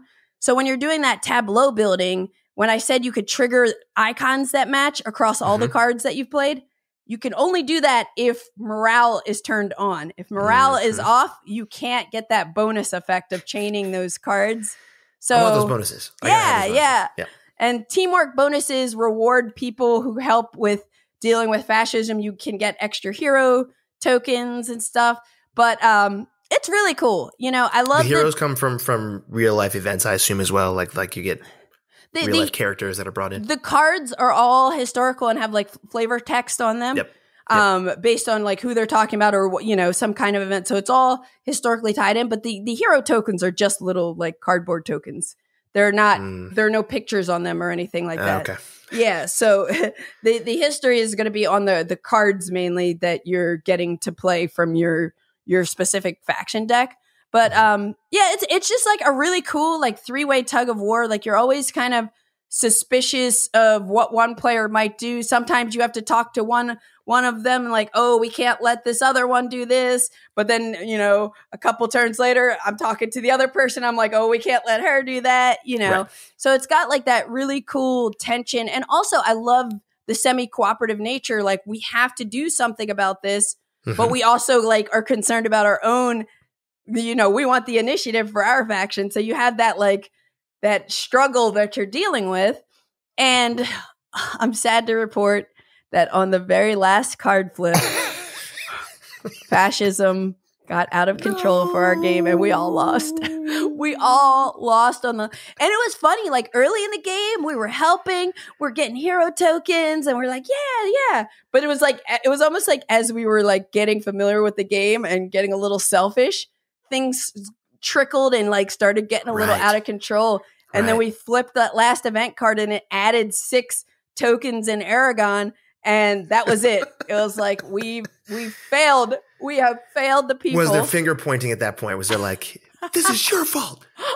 I don't think Lauren, so. what are you thinking? Like, like, did that happen? we we during the- kind of we kind there's no finger pointing we were just kind of like oh my goodness like we we all were just feeling a little guilty That's really but fun. uh had a blast and um yeah i'm kind of i'm looking forward to playing this one more so and you, so you picked up a copy, and so now you'll be able to like do the same thing at home and and, and try it out. i well i, Uh, I bought this months ago. So i just Oh, i brought okay. my copy with me to sd histcon. And this is uh the publisher listed on the game is blue panther who they do like print and play games. Like i think holland I spiel uses if you ever uh, bought Yep. a hollandspiele Yep. game blue panthers who prints it like when you order it. So um that's this game. So you know it has like a canvas kind of map to Hmm. it and uh yeah yeah it's it's it's a really cool game i was like we we had a blast and we we all wanted to play it again like almost the interaction sounds like it was good too. I think I think Oh, yeah. anything that forces people to just uh, you're gonna have to be talking now. You're gonna have to work together, sort Yeah. of. yeah Right. exactly Right. and it's like it, it's about i would say like a 90 minute game so it's oh, like that fast? Okay, it, yeah, then I'm in. exactly it's Yeah. longer than watergate something like watergate Mhm. but it's not that crazy and actually it could go it could go pretty fast but if but it's thinky too so if you have people with uh ap they might be taking a while like looking at all their card options but like i i usually play pretty fast so i'm like all right let's go next next Okay. but Mhm. yeah so that game is land and freedom uh three player game from Love alex it. knight I'll check this out. And, and it's always fun to have. And this is the part that I, I stress to people that have not gone to conventions in the last couple of years, right? It's, you know, I met I met David Thompson at a, at a show last year because he and I did a, done a podcast for the same another outlet. oh cool Um, but but I think like this teach, I'm sure, or just being there with Alex, right? I'm sure that made it just significantly more interesting. Now you can't yeah you can't that was- package him and bring him everywhere you go, I guess, but, but Right. it's fun to have him around. Yeah, it was it was so nice to have him like just there, and of course he was down to teach it.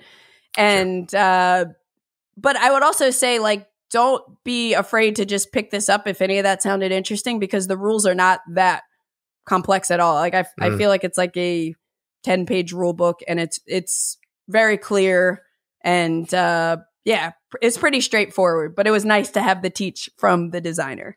I love that in our world, ten page rule books is is a short. It's Yeah. a very it's a very compact. It's only ten pages. No, it's fine. It's not the seventy four page uh, Voidfall compendium of. Uh, that's one of five rule books, by the way. anyway, what's your next game, Justin? Yeah. So number my three. number my number three uh, for extended fresh plays was my number one game in terms of my excitement level for for Spiel. That game is Nucleum, and uh, it is the kind of big piece of chicken release from Board and Dice this year. Um, no T games this year, right? So so this year it's uh it's Nucleum, designed by uh, I don't know if it's David or David Turczi. I'm always I think He goes by David. Okay, let's go with David. Um, he's the wild man you see walking around conventions in the uh, you know, in the suit jacket, and uh, he's usually he's he's he's great. He's crazy. Um, and Simone Luciani. Um, and I think why I was so excited was uh, these two are, are to me kind of at the top uh, of their kind of respective games when it comes to uh, building games. And I feel like this year, especially like Turczi's always uh, got his name on something. Um, and I feel like each year there's four or five games. Luciani, I think also had maybe five games that were set to hit this year. Um, when you look at these games, that's kind of mind blowing. So another one where kind of like David Thompson, I'm not sure if Simone Luciani is sleeping well or not, but I doubt it, right? Because he's just, he seems to always be, be working on pretty heavy stuff.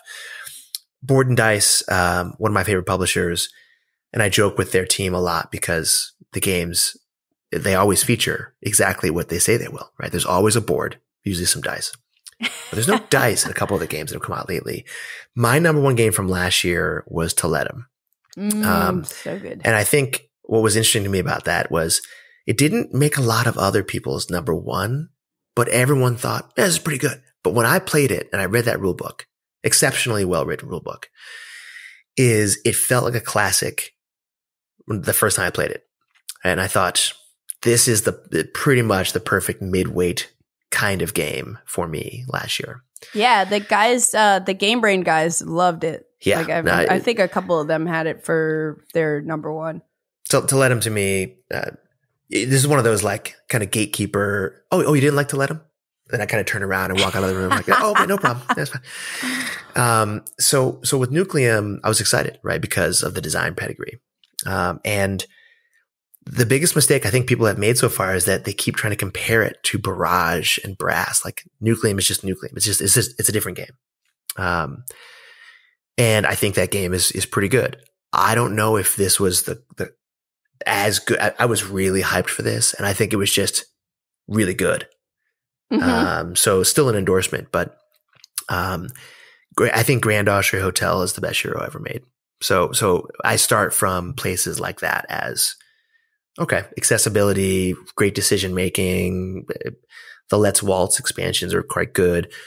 I think Nucleum is just a really, really solid city building adventure. Um, a lot of edge case rules. So, so a little bit like Zhanguo. This is one of those games that you're probably going to have to think hard about. I, I, I, use a game called Feudum in this example quite a bit. I think Feudum oh, I is also Feudum. kind of yeah. If you play Feudum, you know Feudum. And Feudum is in the category of if you play Feudum one time, you've made a terrible mistake because you've invested way too much time and, and now you have to keep playing it or just walk away. Nucleum gave me that sense as we went through the, some of the teach the first time.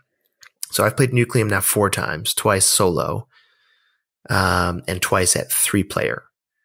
Um, and I, I think it's really solid. I think that um, the the hook for me with this game is how the action selection system works. You've got a certain series of these small tiles, and each player is assigned a handful of them to begin each game based on the technology board that they have in front of them. So you've got some of these little tiles, and each tile, it's not double sided, it's double ended. So there's an action on one end of the top, and then the other end of the top has a different action to do. Um, but the backside of each tile is a train track. And your job is to figure out with these tiles, do I use it for its actions, both of them? Or do I flip it over and essentially murder off one of my workers to sit on this piece of track to help build out a network of track that connects various cities and locations that have nucleums, which in the game's made up history are where energy can be sourced to power the rails that move things around in this in this place. That is, I think, meant to be like Saxony or a version of Europe like 150 years ago. But but of course, whatever. so so um so the tension that comes from those choices is quite interesting. Um, I really love that action selection in part because when you play those tiles into your player board, you have to play a certain number of them in order to move far enough down your income tracks so that when you take a recall action, you can generate enough points or workers or, or cash basically to do things. Money's pretty tight in Nucleum. Um, it's not, it's not crazy tight. It's not pipeline. I, I, feel like pipeline each time I play it, I'm like, I, I, I seem to have no, it's turn two and I'm taking loans again. What's happening? I don't think it's yep. that tight, but it's tight. Um, and the technology boards gave you the juicy bonuses that you look for in a Luciani and a, and a Turczi design. It's, it's, it's, it's got those kind of standard Euro y things. Um, and I think the end game condition is also what I love because it, it's, it's each time I've played it, it's kind of snuck up on me. Like, okay, you know the five ways that the game could trigger uh, one of the bonuses or one of the conditions. And when two or three of them have been triggered, the game is basically just over. And so even when you're, when you're monitoring other players, it's, it's sometimes it just a classic example of you want to do a lot more. You don't have enough time. Which things can I do to efficiently move through this puzzle? Um, I, I think this one, and I've I've heard this commentary already from others, right? I think, I think it's, it's not as beautiful looking a production as like a Zhanguo, for example. I, I love the way that one plays in terms of look and feel and table presence. This one doesn't have quite that level of table presence, but it's still, it's still really, really good. Um, big surprise with with Nucleum was how short it was. Um, my plays, my multiplayer plays were two hours and seven minutes and two hours and 12 minutes. Wow. So for three players, to me, that's a sweet spot. In fact, when I read the rules, I was frightened by the idea of a four player Nucleum. I was like, I don't think so. I think I want to do it. So I kind of leaned out of that space and, and the board kind of scales to the number of players you have. Um, a note also about the solo design, because I think some of David's solo designs are famously like you need a degree to read the rule book for the solo, right? This one was more accessible than I was expecting. And as a game, it's not quite as heavy in terms of the actions, but I do think you'll play with some players that on turn three or four are like, I blew it. My game's over. I can't do this, man. I, I, mm. I, I didn't plan well enough to do all the things I want to do. Some of that's valid, right? So I think the weight you might see in BGG is tied mainly to that. Like very strategic. You, you got to think on turn one. If I build somewhere, I can still start a new network elsewhere without the same constraints as games like what people have mentioned, like Barrage or, or Brass. But it's going to be hard to dig out of a hole against an experienced player. Um, but very solid. I, I, think I think Board and Dice continues to to churn out just I think very very strong. I mean, I liked even Origins First Builders. I, I I thought that was pretty good too. Didn't get a lot of love, but I thought it was pretty good. Um, if you like your Euros to be thinky and the interaction to come from strategic actions on the board, uh, and not from funny, okay, I got this cool thing on my board and you don't. And so therefore I'm going to sneak in and do this thing. Everyone's got those cool sneaky things on their board. so um, I thought it was really good.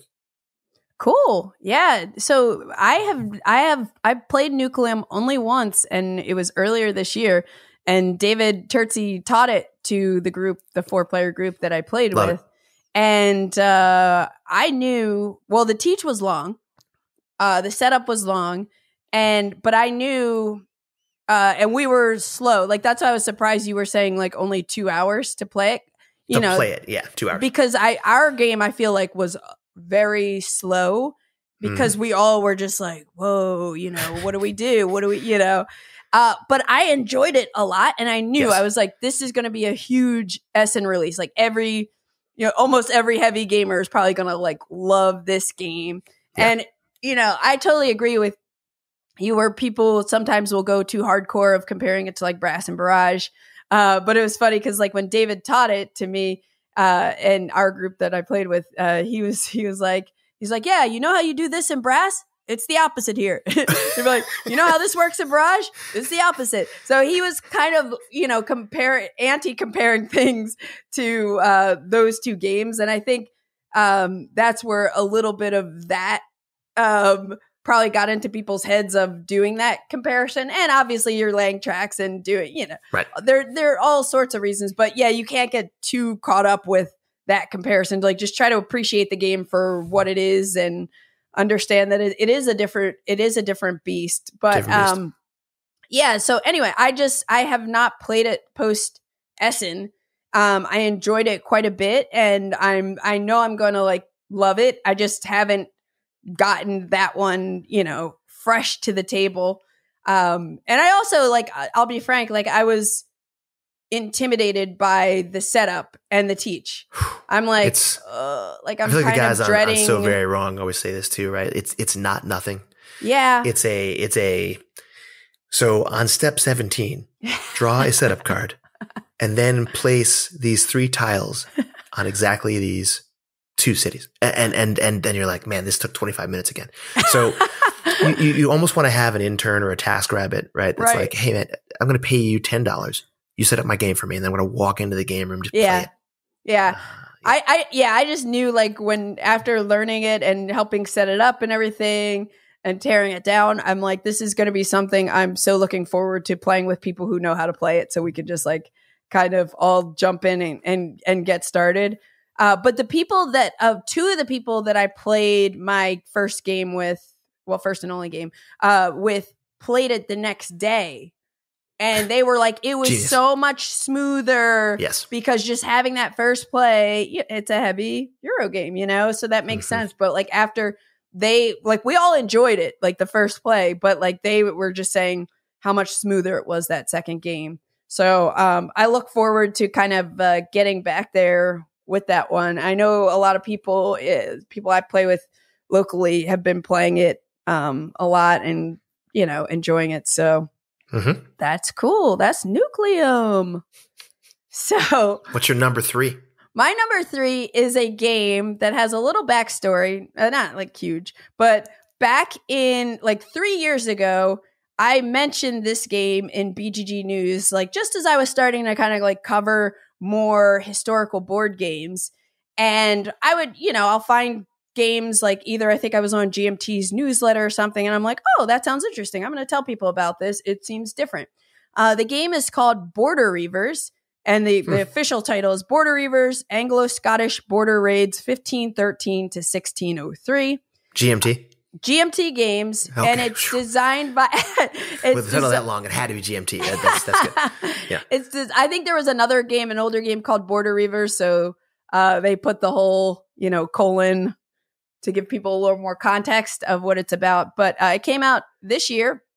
But as I said, I I I learned of it like three years ago, and I I pre-ordered it through their P500 pre-order. Okay. And I think it was like one of the first games I ever P500 pre-order because I was like, this sounds neat, you know. Mm, look at and you now. I know, right? Deep in the P500 I'm a, I'm a P600er. No.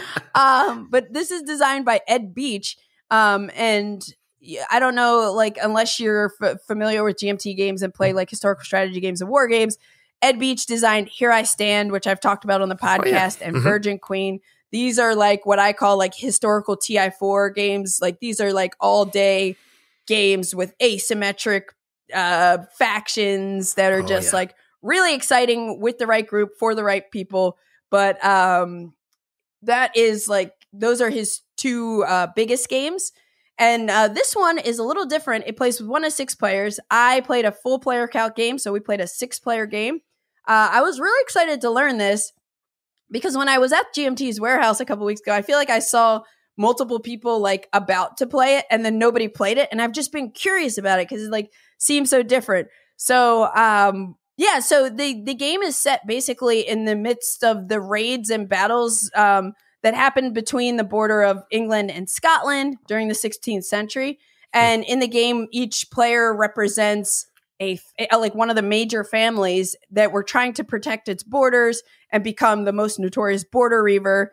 and you want the most victory points at the end of the game pretty much but um border reivers were just like is the name of these diff- these people who were raiding along this border in this time period and the game board is divided into what were like these territories that were called marches so there's like an east scotland march there's a Central Scotland March. I might not be saying it right, but you'll get the idea. They were in the middle. And then there's a uh, West Scotland March. And then they were also the same side on the other side of the board for the English side, um, West, e- uh, West Central East.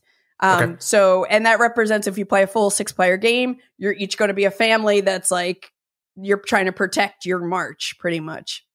Hmm. Everybody starts with sheep on the board. So this is a very unique uh, historical like war related game that has sheep and like livestock livestock is a big part of it because that was a huge part of these raids like you were trying to take other people's sheep and cattle and cows and everything wow. uh, sorry yeah. sheep and horses and cattle um, so that's one of the things that will score you points at the end of the game is by having like every pair of horses you have is worth three points. Every pair of sheep you have is worth two points. Every pair of cattle are worth one point. And in this game, cattle are also your currency. So when you're playing cards, uh, the cost is usually you have to pay a certain amount of cattle. Um, and then the horses you're going to use to like add to your dice rolls for raids and all sorts of things. But mm-hmm. you start the game with a cube in the um, the march that's across from you. So I, I was on the Scottish side, so I had a cube in a feud box, meaning um, uh, that I have a feud with the English side in this particular march. They have a cube in in my box in the feud box, and then we also have this like you have this jailbreak area. So you have this jail where we have a cube. So each of us has like these cubes on each other's sides that kind of start the game. And there are ways Mhm. that other cubes can get in there depending on things that happen. But it's split into three years. So it's three game rounds. And each round is broken into four seasons. And another unique thing about this game compared to, you know, a lot of games you might find in GMT's catalog is you're going to start the uh, round with a draft. So in Mm. summer, there's a draft and you're drafting these cards, which this is one of the things I'm so excited about playing this game again for. Cause now having, after having played it once, I'm like, oh, let's go. Like I want to like yeah, just right, right. but right. you're drafting cards that are either going to go into your tableau to kind of give you special abilities. Um, there are certain slots for a particular type of cards, like you can have a warden, and then you can have like officers and other uh, things known as graynes, G R A Y N E S, which are like these like more minor families that were Oh, kind okay. of supporting you.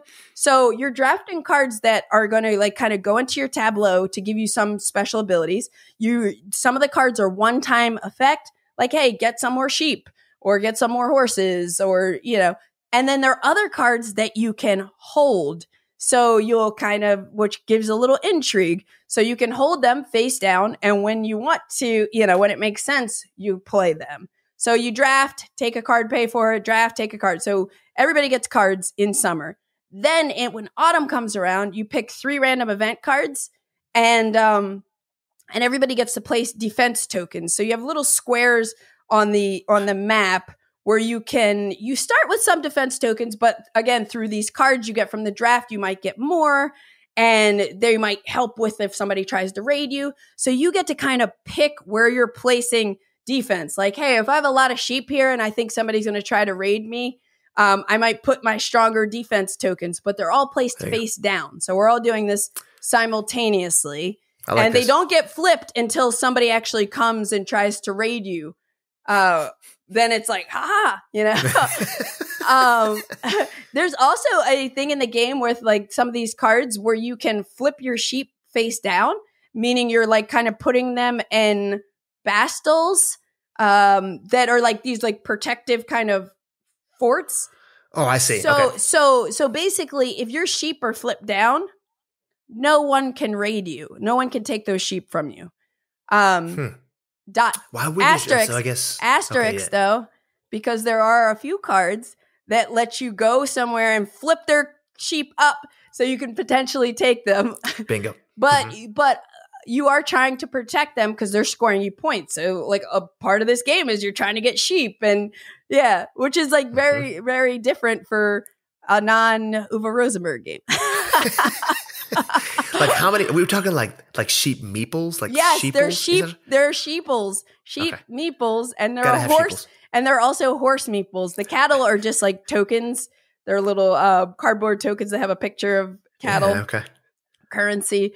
Um, but then when you get to when you get to the winter phase, oh, I should also say the event cards that go out, like some of them are going to be like battle cards that go on certain areas of the board.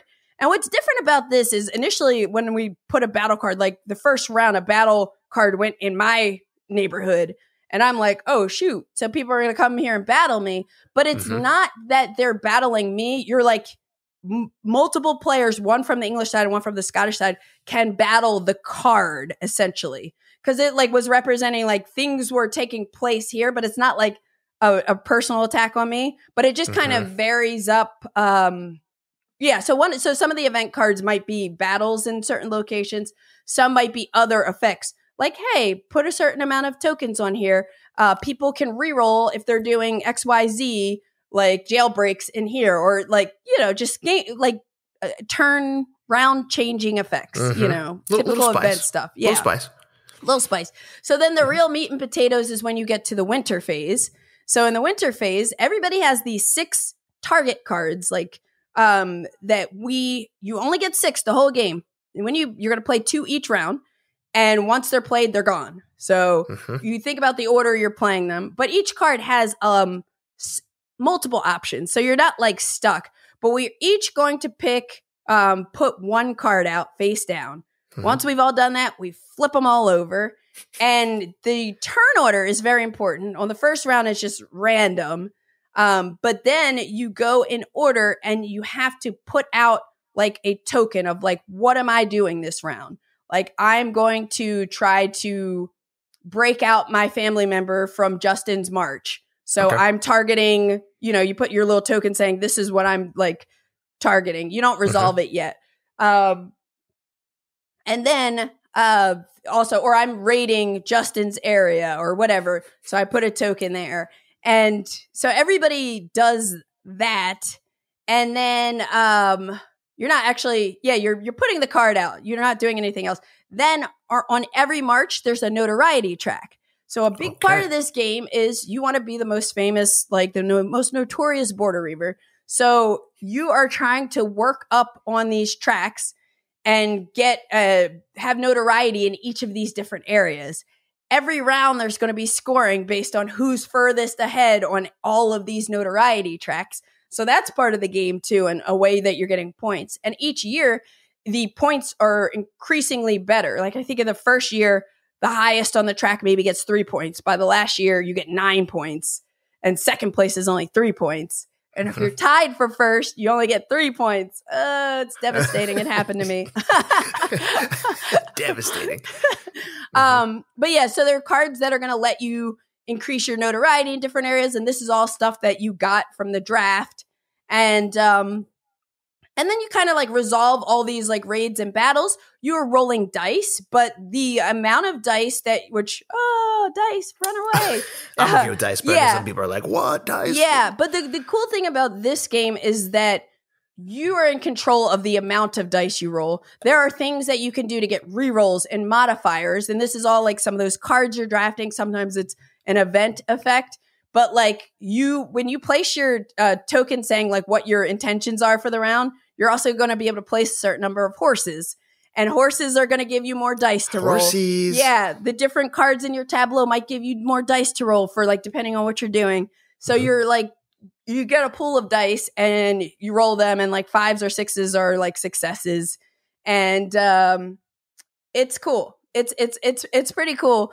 And then um when you your horses come back, they're they're sleepy because you do two rounds of this where you play that target card, go through and kind of like quote unquote attack each other. Um, mm-hmm. you do two rounds of it and your horses don't refresh till the end of the round. So if I allocate four horses for this raid, I only have two left to do whatever the second thing I'm doing oh, okay. on my 2nd mm-hmm. card. And then in during spring, you kind of do some cleanup, you score victory points for notoriety tracks and um, other stuff. But it it's really really unique. It's like yeah, this I, theme is for sure. I don't think I know a game where this the is crazy. theme, the theme, the history, the historical tie-in to the gameplay uh, was really cool. Our scores were 105 uh, was the lowest, and the highest was 129, and okay. most of us were in like five points. So okay. it was it was a really tight game. Everybody, I love how the the cards that you're drafting and placing in your tableau give you kind of your makes your family more asymmetric. Um, mm. the yeah, the I I don't I don't even know how to describe it. Like some of the the struggles, like the the things you're doing and like the choices you're making on like who you might want to raid or when you might want to try to jail get get uh, like jailbreak one of your family members somewhere. Um, you know, trying to boost on these notoriety tracks it just it felt like different, but I really really enjoyed it, and I realized how much I enjoyed it when later that night I was I shared a hotel room with Lauren, and I was just like thinking about it, and Is I this just, the, the same Lauren that that sold you down the river uh, in the uh, the, the other communist game? Lauren, uh, yeah. Yeah, yeah, yeah, same Lauren, yeah, partner in fascism. That yeah. same Lauren. Okay. exactly, exactly. But yeah, like the the the card draft has like really interesting choices and there are lots of different ways you can get points throughout the game. Mm-hmm. Um, also, I just love like the winter phase, like when it's popping off. It's it's it's really exciting, and you know you'll see depending on turn order, like you could see what somebody else does or what they're targeting. It might change what you might might want to do. Um, I will say I got burned on turn order the last the last round. Oh man, because I was mm. I think by like this second year, I was in first place on victory points. So turn order is then in reverse Reversed. order. Yeah. So me being late to do some things, I was kind of getting some of my choices were getting cut off. Like I wasn't able to join battles, which like help you get victory points. So, uh, but I learned from that. And it's like in a game like Twilight Imperium, where if you get too far ahead, everybody targets you. I feel like this, like I want to be a little more modest about how I score in relation Yep, to people right. so I can control that turn order a little bit. Uh, Mhm. but yeah, it's a very, very unique game, and I'm already like, uh, I'm already making plans to play it again at BGG Con in a couple weeks. I want to try it with four also and see how that feels. Our game took four hours. Four hours. I think I say um, six hours. I was like six. I was about hours. to by accident. No, no, no. It, it was four hours with five new people, and the guy who taught had play tested the game. He did a Okay. phenomenal teach. Um, but. I will say, like, I think it could get down to three hours with six people if everyone has at least played the game once, because there are a lot of things you can do. Kind of like, even if you're in the middle of doing a raid, other people can get prepared to figure out how many dice they're going to roll for whatever they're doing. Um, Mhm. because they have all these these little tokens that let you figure out how many dice you're going to roll. So there are things that like can really speed it up. And we were just also we were learning, so we're like looking at cards really long, like what does this mean, you know? But I think I think it could get down to like three hours for a six player game. So yeah, so I'm really excited to play it more. That that's Border Reivers. So yeah, I presume you've never heard of this. I haven't, but I mean, you've that overview was fantastic, and I think it just again thematically, I'm confident I've never played a game in the 1500s in in, in that area of the world. Like like like so sometimes that that helps sell what's there. Yeah. Also, as you were talking, uh, the family element.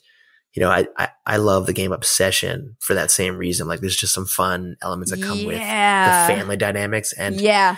you have me intrigued by what is included with with this game uh, in that way. So Yeah, if we're Yeah. if we're at a convention or something together, we we should we should definitely play it. And yeah, we were we were leaning into like our family names and everything. there it is. Right, right, right. And and yeah, the people and like who our warden was and all that.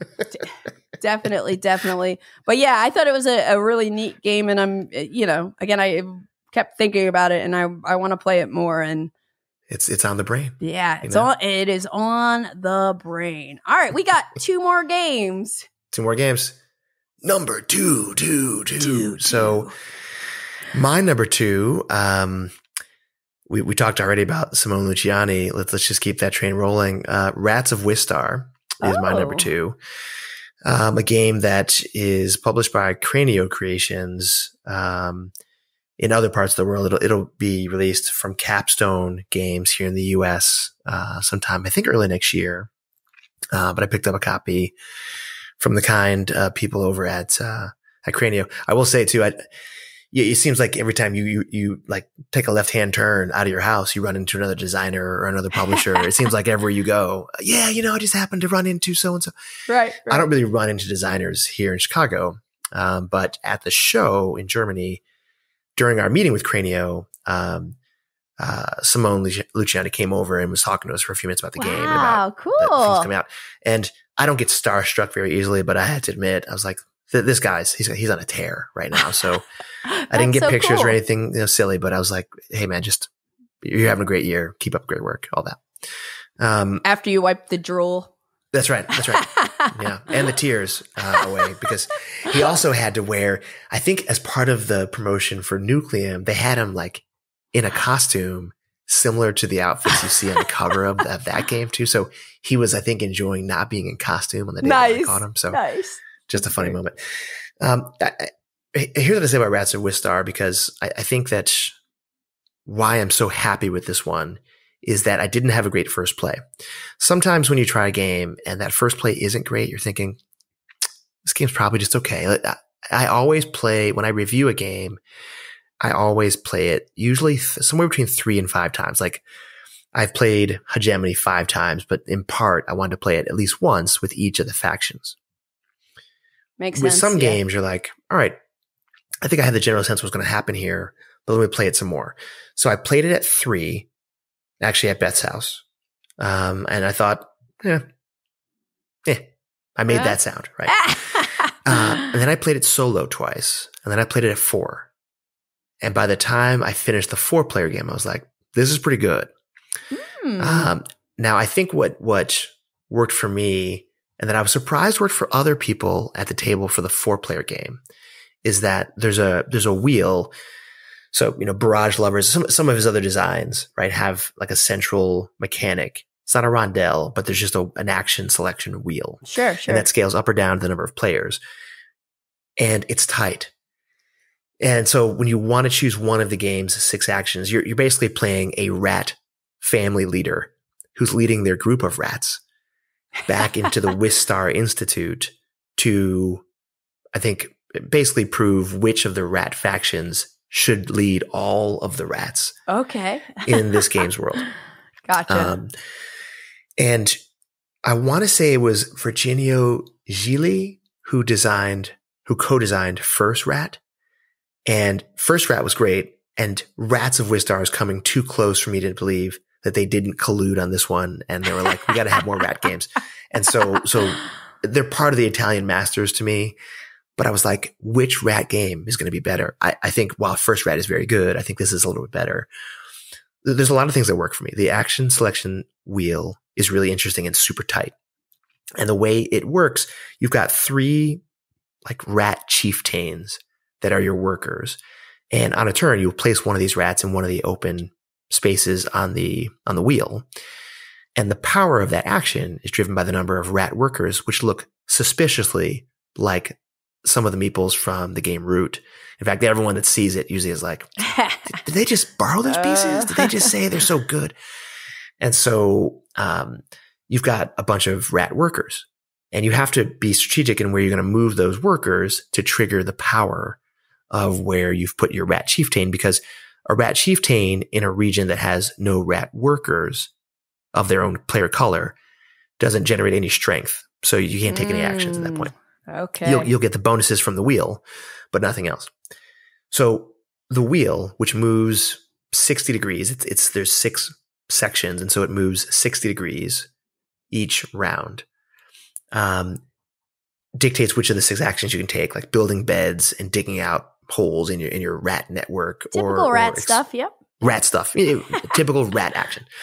Exploring the Wistar Institute, which is um, represented by an area that looks like a basically a house called the farm.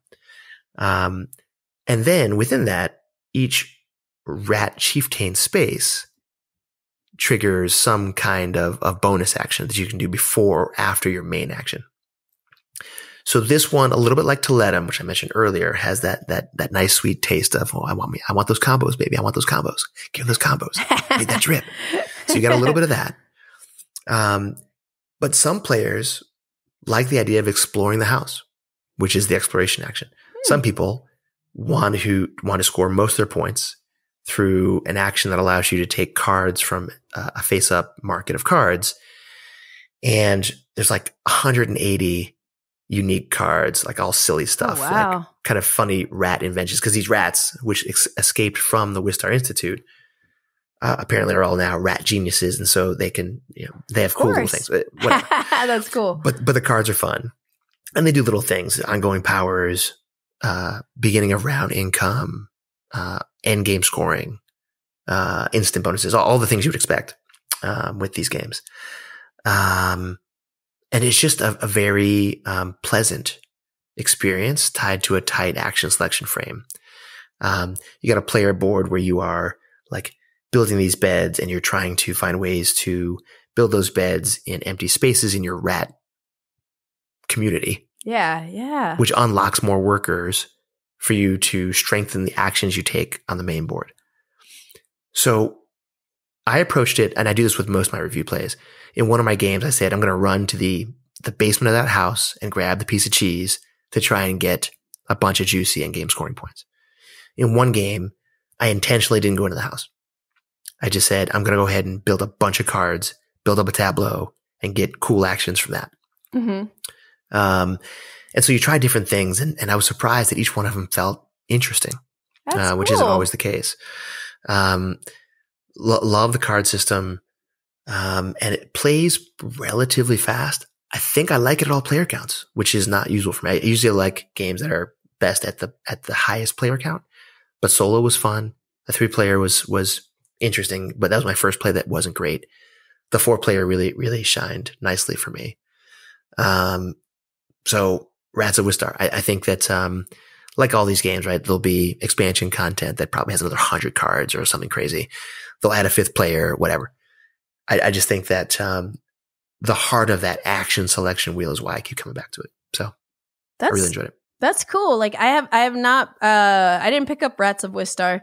I'd be curious to try it at some point, but it is, uh, and I was curious to hear your thoughts on it because I did talk to Beth after that first play, and she was saying, "Yeah, we were all kind of like just okay on it, meh, meh." But it's it's great to hear that you know after exploring it a little more, trying it at different player counts, you're like, "Oh no, there's there's something really cool here."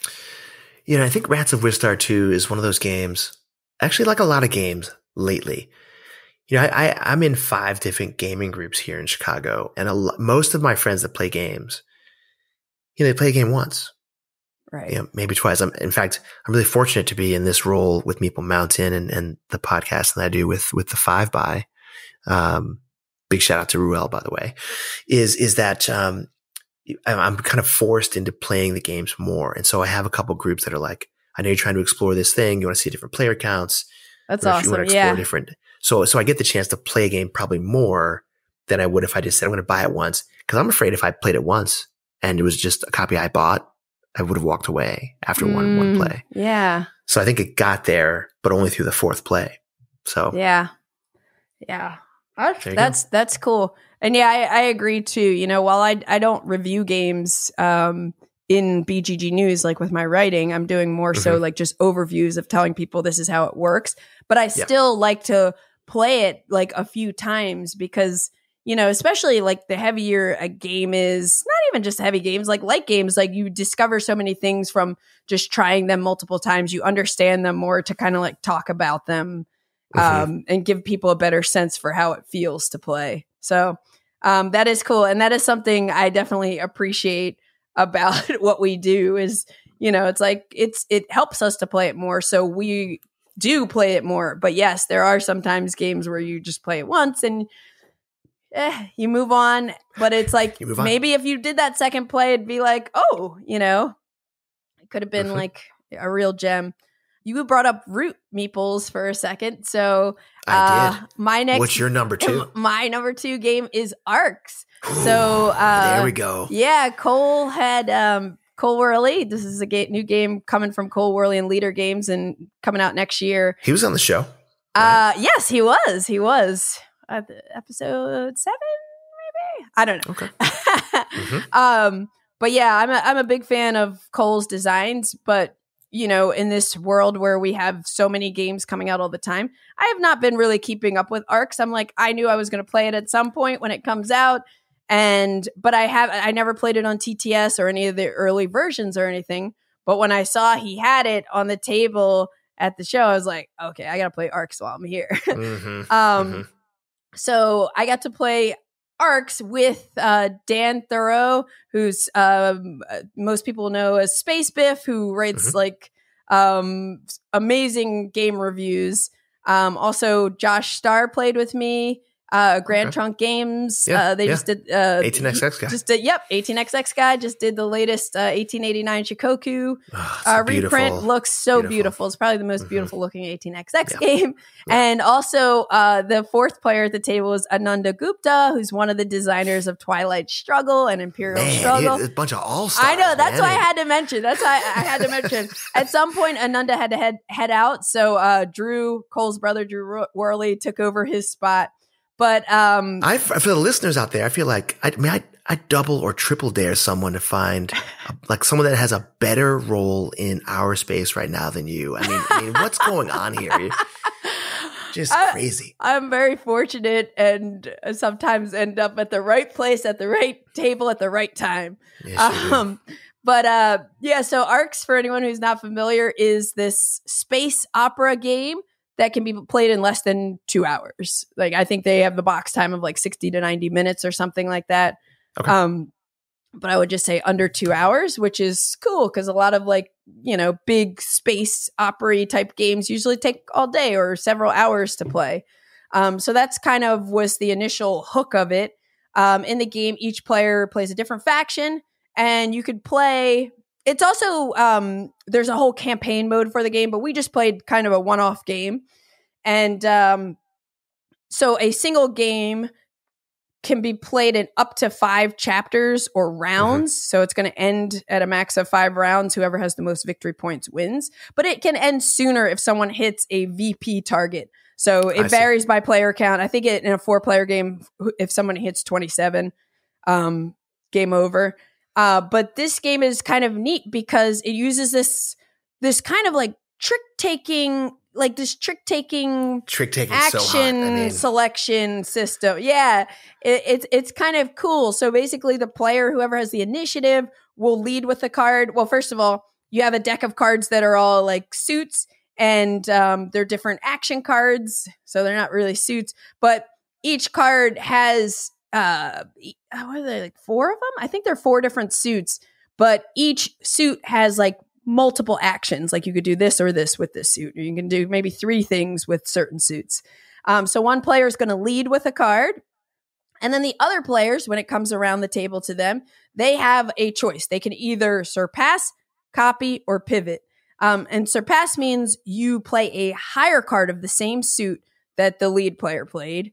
Uh, copy means you play a card face down um, meaning maybe you didn't have a card that was higher of the same suit, or maybe you just wanted to do something different, but you play a card face down and you do one thing on the card of the lead suit.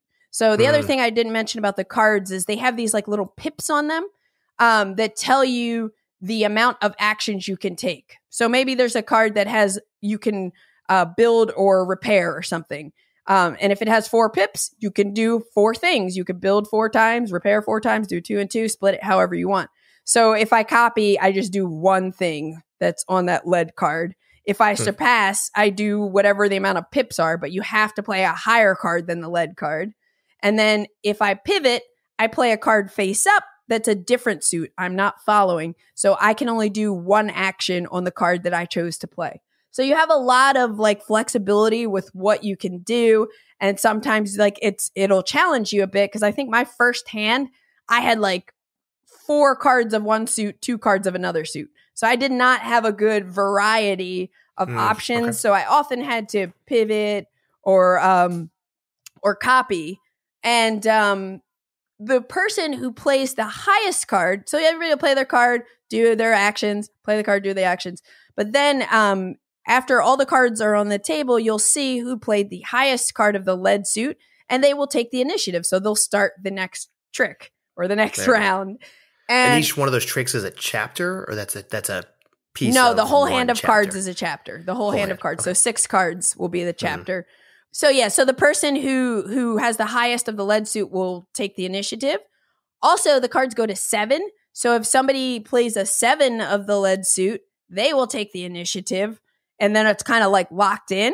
But to give people flexibility, if you, you know, you might not have a hand of cards where you have high cards that you can kind of take the initiative, you can always optionally, if nobody else has done it this round and nobody um, played a seven, you can play a second card face down with your card and you mm-hmm. automatically lock in the initiative to give yourself a chance to start, but you're going to be one card short and not able to play that last trick or that mm-hmm. last hand, you know, that last action.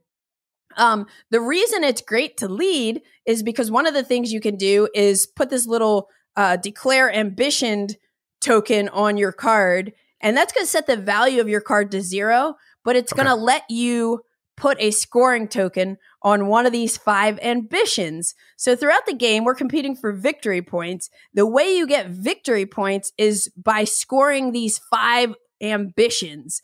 So one of them is like have the most of these two types of resources. One of them is like have the most of this particular resource. So there's I think three of them that are resource based. One of them is have the most trophies, which is like you battle and you take people's ships and they're trophies. So you're competing. So there is some battling. Yeah. Oh yeah. Oh yeah. There's some battling. Okay. Yeah. There we go. There is we some battling. I don't want to surpass every time. I want, I want to. I want to battle something. There, yeah, yeah. There are also ways to take people's um these people's meeples as captives. So there's a scoring objective to say if you have the most captives, you know. So there are five Oh. ambitions. And if you are leading, you can say, I'm declaring an ambition, and you put this tile on your card. And whatever ambition icon is on the bottom of the card you're playing, um, and these match per number. So every two has the same scoring ambition. Every three has uh, the same scoring ambition, like regardless of suit. But now I'm saying, okay, take the next highest scoring token, or no, the current highest scoring token, and put it on this goal. Maybe I'm saying I want, maybe I'm leading everybody in trophies. So I want to score trophies. Mhm. So you put the token there, and that means at the end of the round when we score, uh, you know, if that token said five points and three points, the person who has the most is going to get five points. The person who has the second most gets three points. So, uh, so players by leading are declaring what's going to be scored for the round.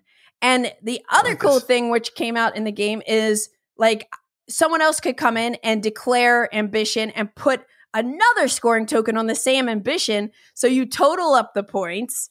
Um, Mhm. but it's like this really interesting thing because, you know, you're trying to time out when to do that, you know, should you have the opportunity when to do it because there are only three scoring tokens. So once they're out, they're out. And Hmm. so there's kind of a, a little bit of tension of like, when is somebody going to trigger it? And, you know, but like you Right. don't want to trigger it too soon when you're like tied with so like you want to have an advantage on other people when you pick something because the minute you pick something, everybody's going to be like, "Oh, now I'm going to try to Oh. compete for that." So yeah, so that's like a, a Kutná really Hora has this a little bit actually too of like. Oh, yeah, with the- like, the- the patricians. like up. yeah. Now I gotta now I gotta compete for that. That's right. exactly. So it's got that kind of thing. But the other cool thing is this game, like the actions are really simple. It's like you Huh. can move, you can build ships, and there are little tri- uh, triangle tokens that are buildings you can put on spaces where you have control. Um, you can repair ships. Combat is super simple because it's only the active player who does something. You have three Hmm. different types of dice, and you can choose your however uh, you know whichever pool, however how do I say this? You can choose the dice, the types of dice you want to play. So if I'm attacking you and I have four ships, by default, I get four dice. I can take two blue ones, two red ones. And each each type of dice has its own like advantages or disadvantages. Like Mhm. blue are the most basic. They have, I think it's just a uh, coin toss. So it's 50 50, a single hit on three sides, blanks on three sides. Um, the red dice are like assault dice. So they they have some sides that have double hits, but they'll have this Okay. flame icon on them, which means you also hit yourself.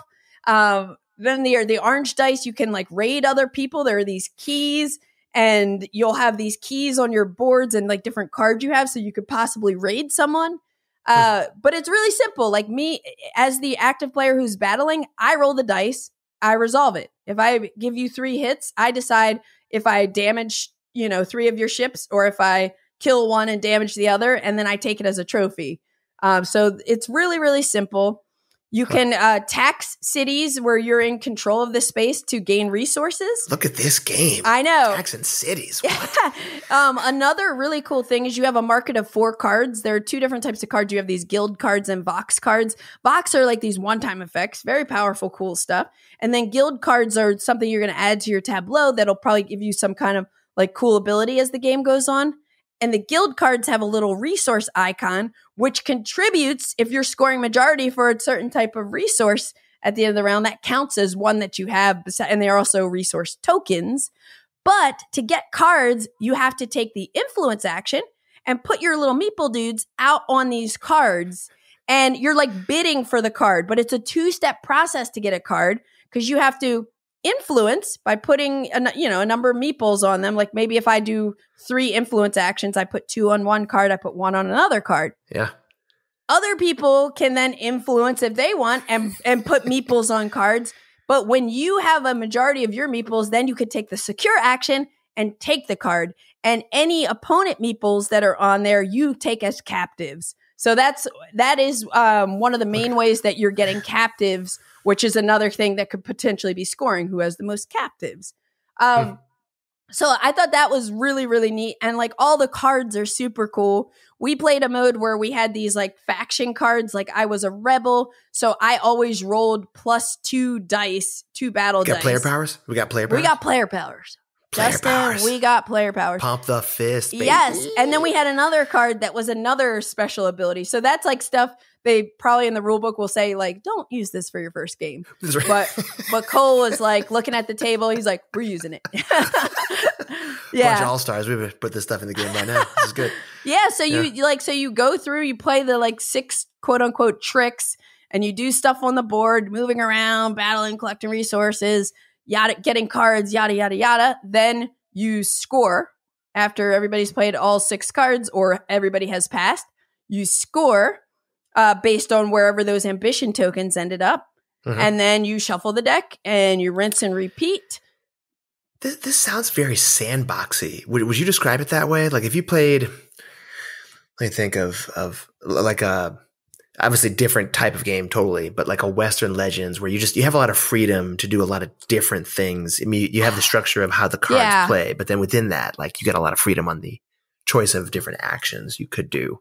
It sounds pretty wide. Ah, I would not describe this as a sandboxy game. Be- Okay. Only because I think you're limited by the cards that in your hand for what you can do. And also, depending on who's leading, that impacts, you know, the cards that you can play and how much you can do, how many actions you can do. And I Mhm. feel like that and also the whatever ambitions start getting scoring tokens are going to really direct you a bit. So I think Okay. I think, you know, I think you're going to be like, as you're playing it, if you start the game fresh, you're going to be thinking about, hey, when can I, oh, like I have one more of these tokens than these people. I want to score that. So now I want to try to declare the ambition. So I make sure that scores. But oh no, somebody else already declared an ambition. now I want to try to go um, maybe battle that person so I can tax them and get that resource and then so I could at least tie for some you know like I feel like the the scoring uh, conditions for the round the whichever ambitions have the scoring tokens are going to direct people Hmm. now um you could like kind of play it as a sandbox like oh I'll float around I'll just try to build up you know build on some different areas and everything but I think you have to kind of focus on trying to maximize your scoring and get in on those uh Yeah. those right. ambitions when you can. So you're going to be, I, I feel like that's going to be like driving a lot of what you do.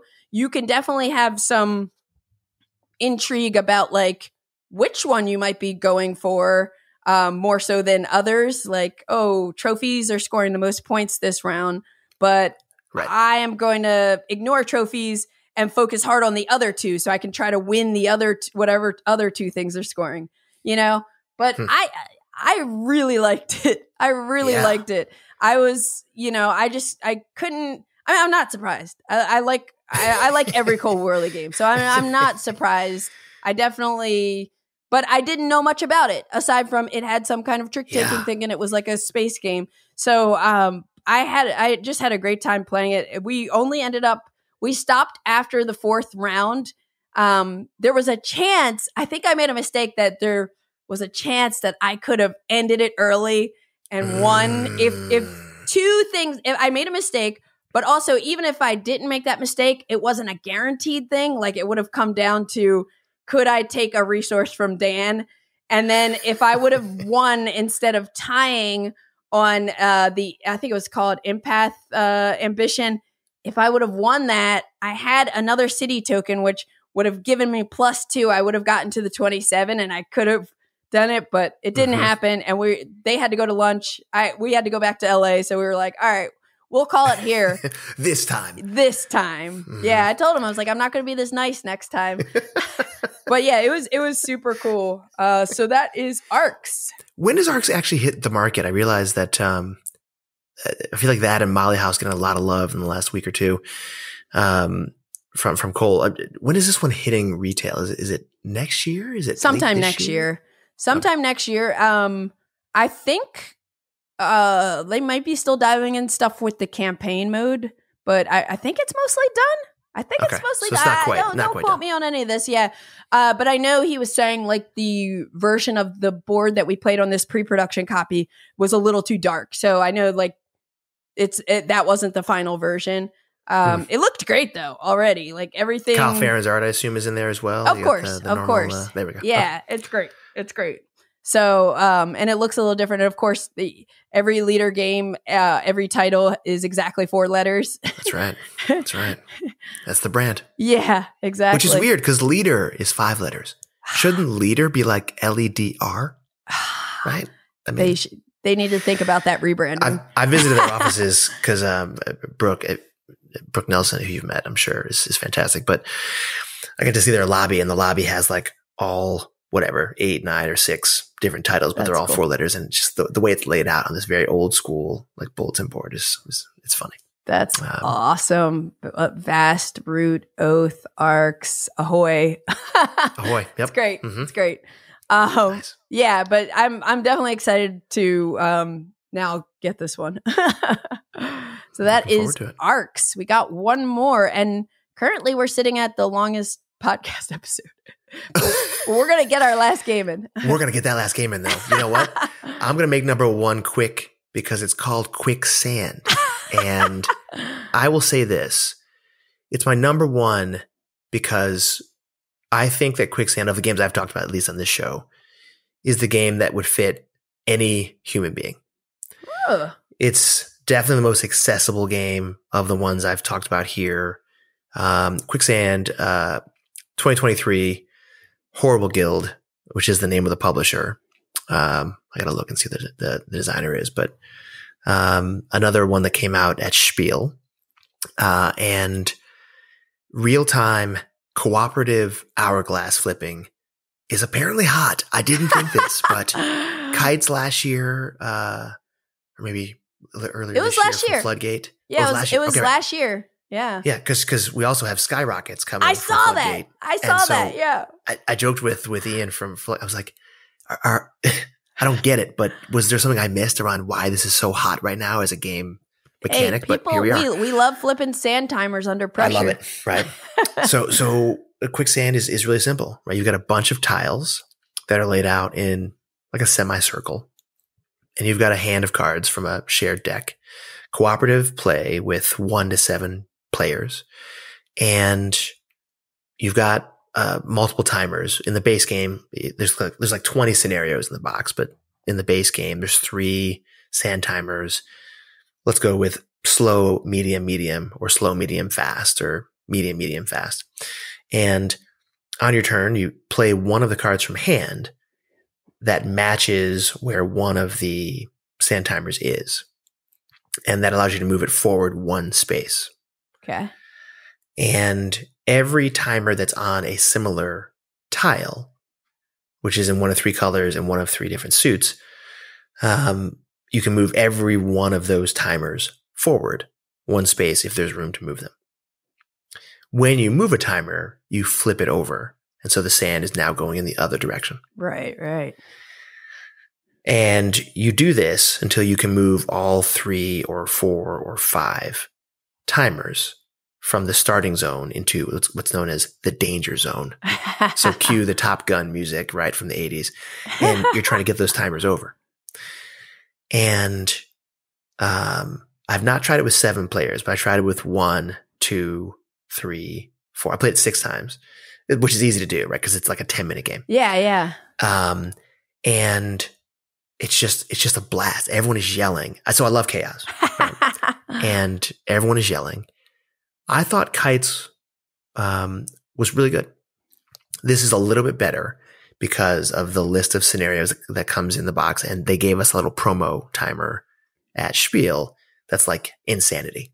Uh, that one it's, it's super short, and so you have to keep that one basically. It's like a teacup. You got to keep in motion. oh my goodness. And um, I, I, I have shown quicksand to the kids, quicksand to strangers, uh, quicksand to gamers. Uh, it is the ultimate dexterity filler because it's not really a dexterity game. You got to reach over and, and turn the timer over, right? It's it's not like shooting marbles or like men at work. We got to balance meeples on like balance beams and stuff right, like that. right. So, so you really can't go wrong as a gift to give quicksand to essentially anyone who is able to flip a sand timer. Uh, and my longest play of those six plays was, I think it was nine minutes. So it's just- yeah, it's just one of those games that, um, you probably saw a, a lot of people playing it at Spiel because it's a, it's a very good.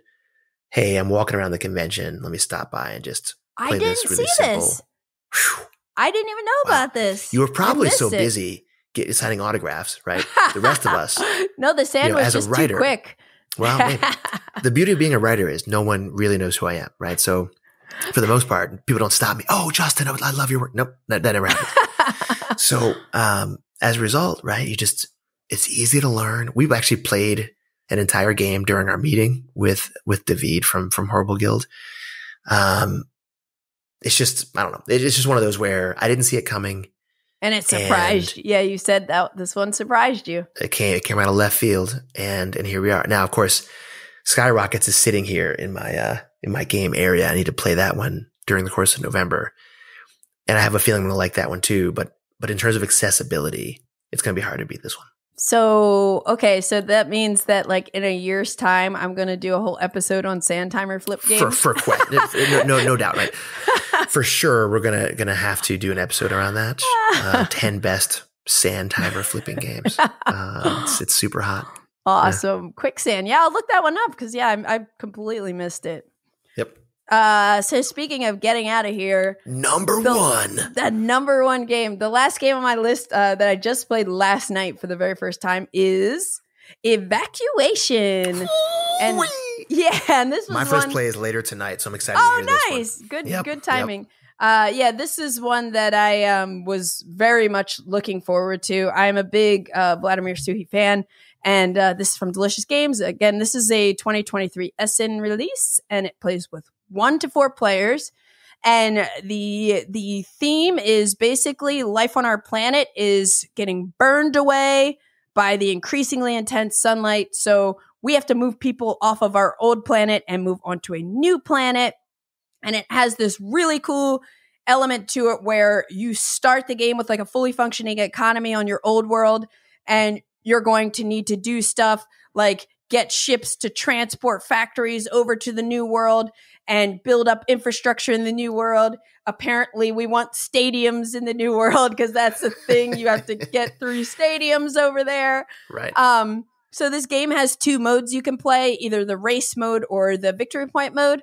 Uh, I've we played the victory point mode last night, so we played four years, and then we scored a bunch of things, and you know, see who has the most points wins.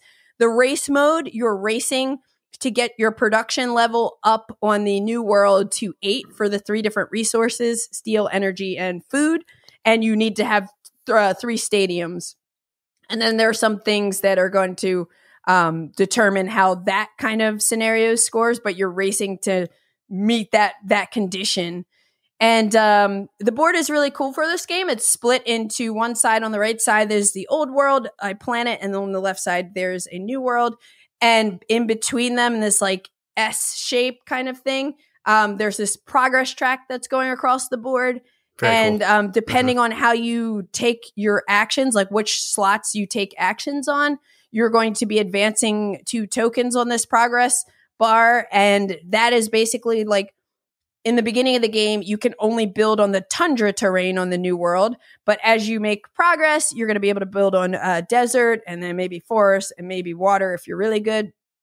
But um, but yeah, you like I said, you you're starting, you're trying to get your economy. You're breaking like usually in games, you're building up to you know you're yeah building up to make an economy. You're starting with a full economy, you're tearing it down, and you're trying to build it up on the other side.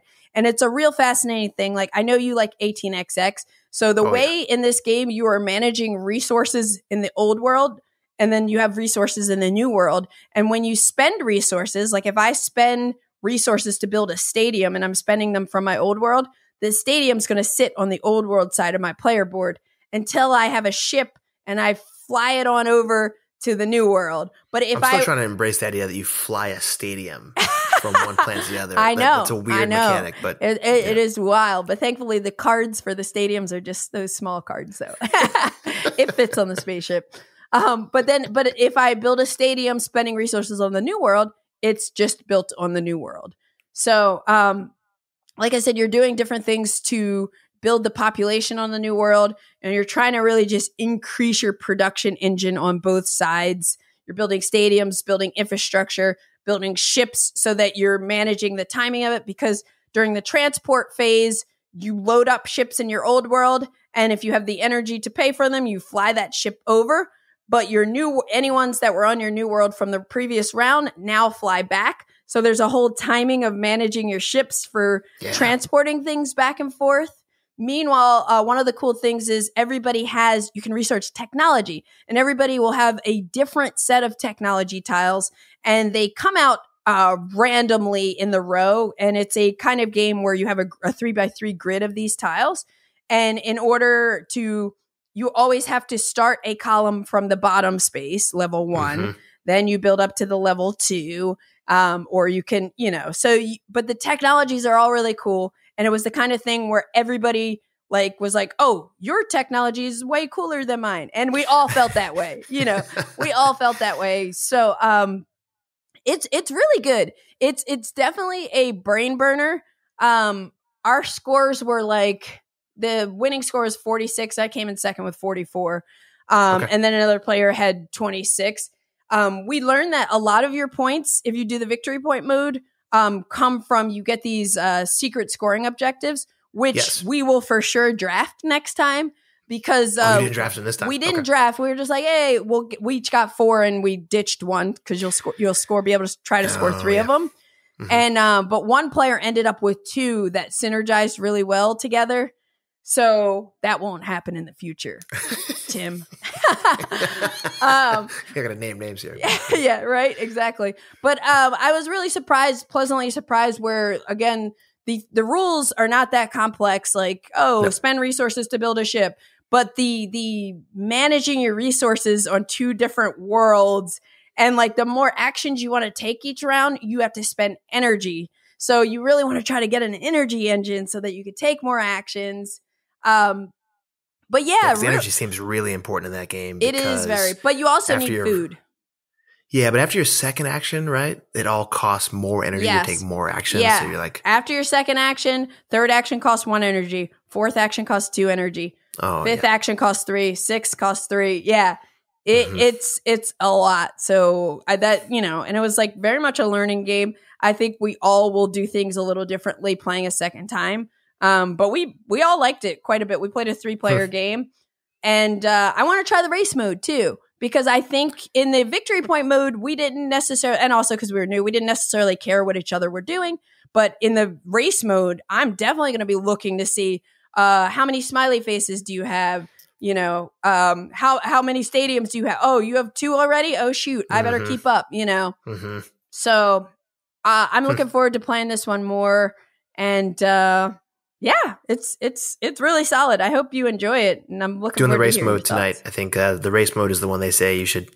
Like, like I'm, I'm a peasant, right? So I always start with what the the rule book says you start. So yeah, I'm doing that one yeah. tonight. Um, but looking forward to trying it with points mode also. Cool. So that is evacuation, and we will evacuate our ways off of this podcast. Justin, it has been great talking to you. Um, you and, and I love hearing about these games. You know, some of them that I was like not really on my radar at all, uh, especially quicksand. And uh, the rats game. I'm, I'm, now I'm curious about the rats. Game. Rats, rats of Wistar. No, the games you you highlighted here. Once again, I've learned a lot. So great conversation. Great to uh, talk through some games. Yeah, yeah. We'll talk to you soon. Hopefully. Love it. Enjoy your Nucleum Nucleum play. Oh yeah, thanks oh, for being here. You've been listening to the Board Game Geek podcast, produced and edited by Candice Harris. Special thanks to Matt Fonda for editing and mixing our music. Be sure to visit us on the web at boardgamegeek.com. You can also find us on YouTube, Twitter, Blue Sky, Instagram, Facebook, TikTok, and Twitch under Board Game Geek. You can reach us by email at podcast at boardgamegeek.com.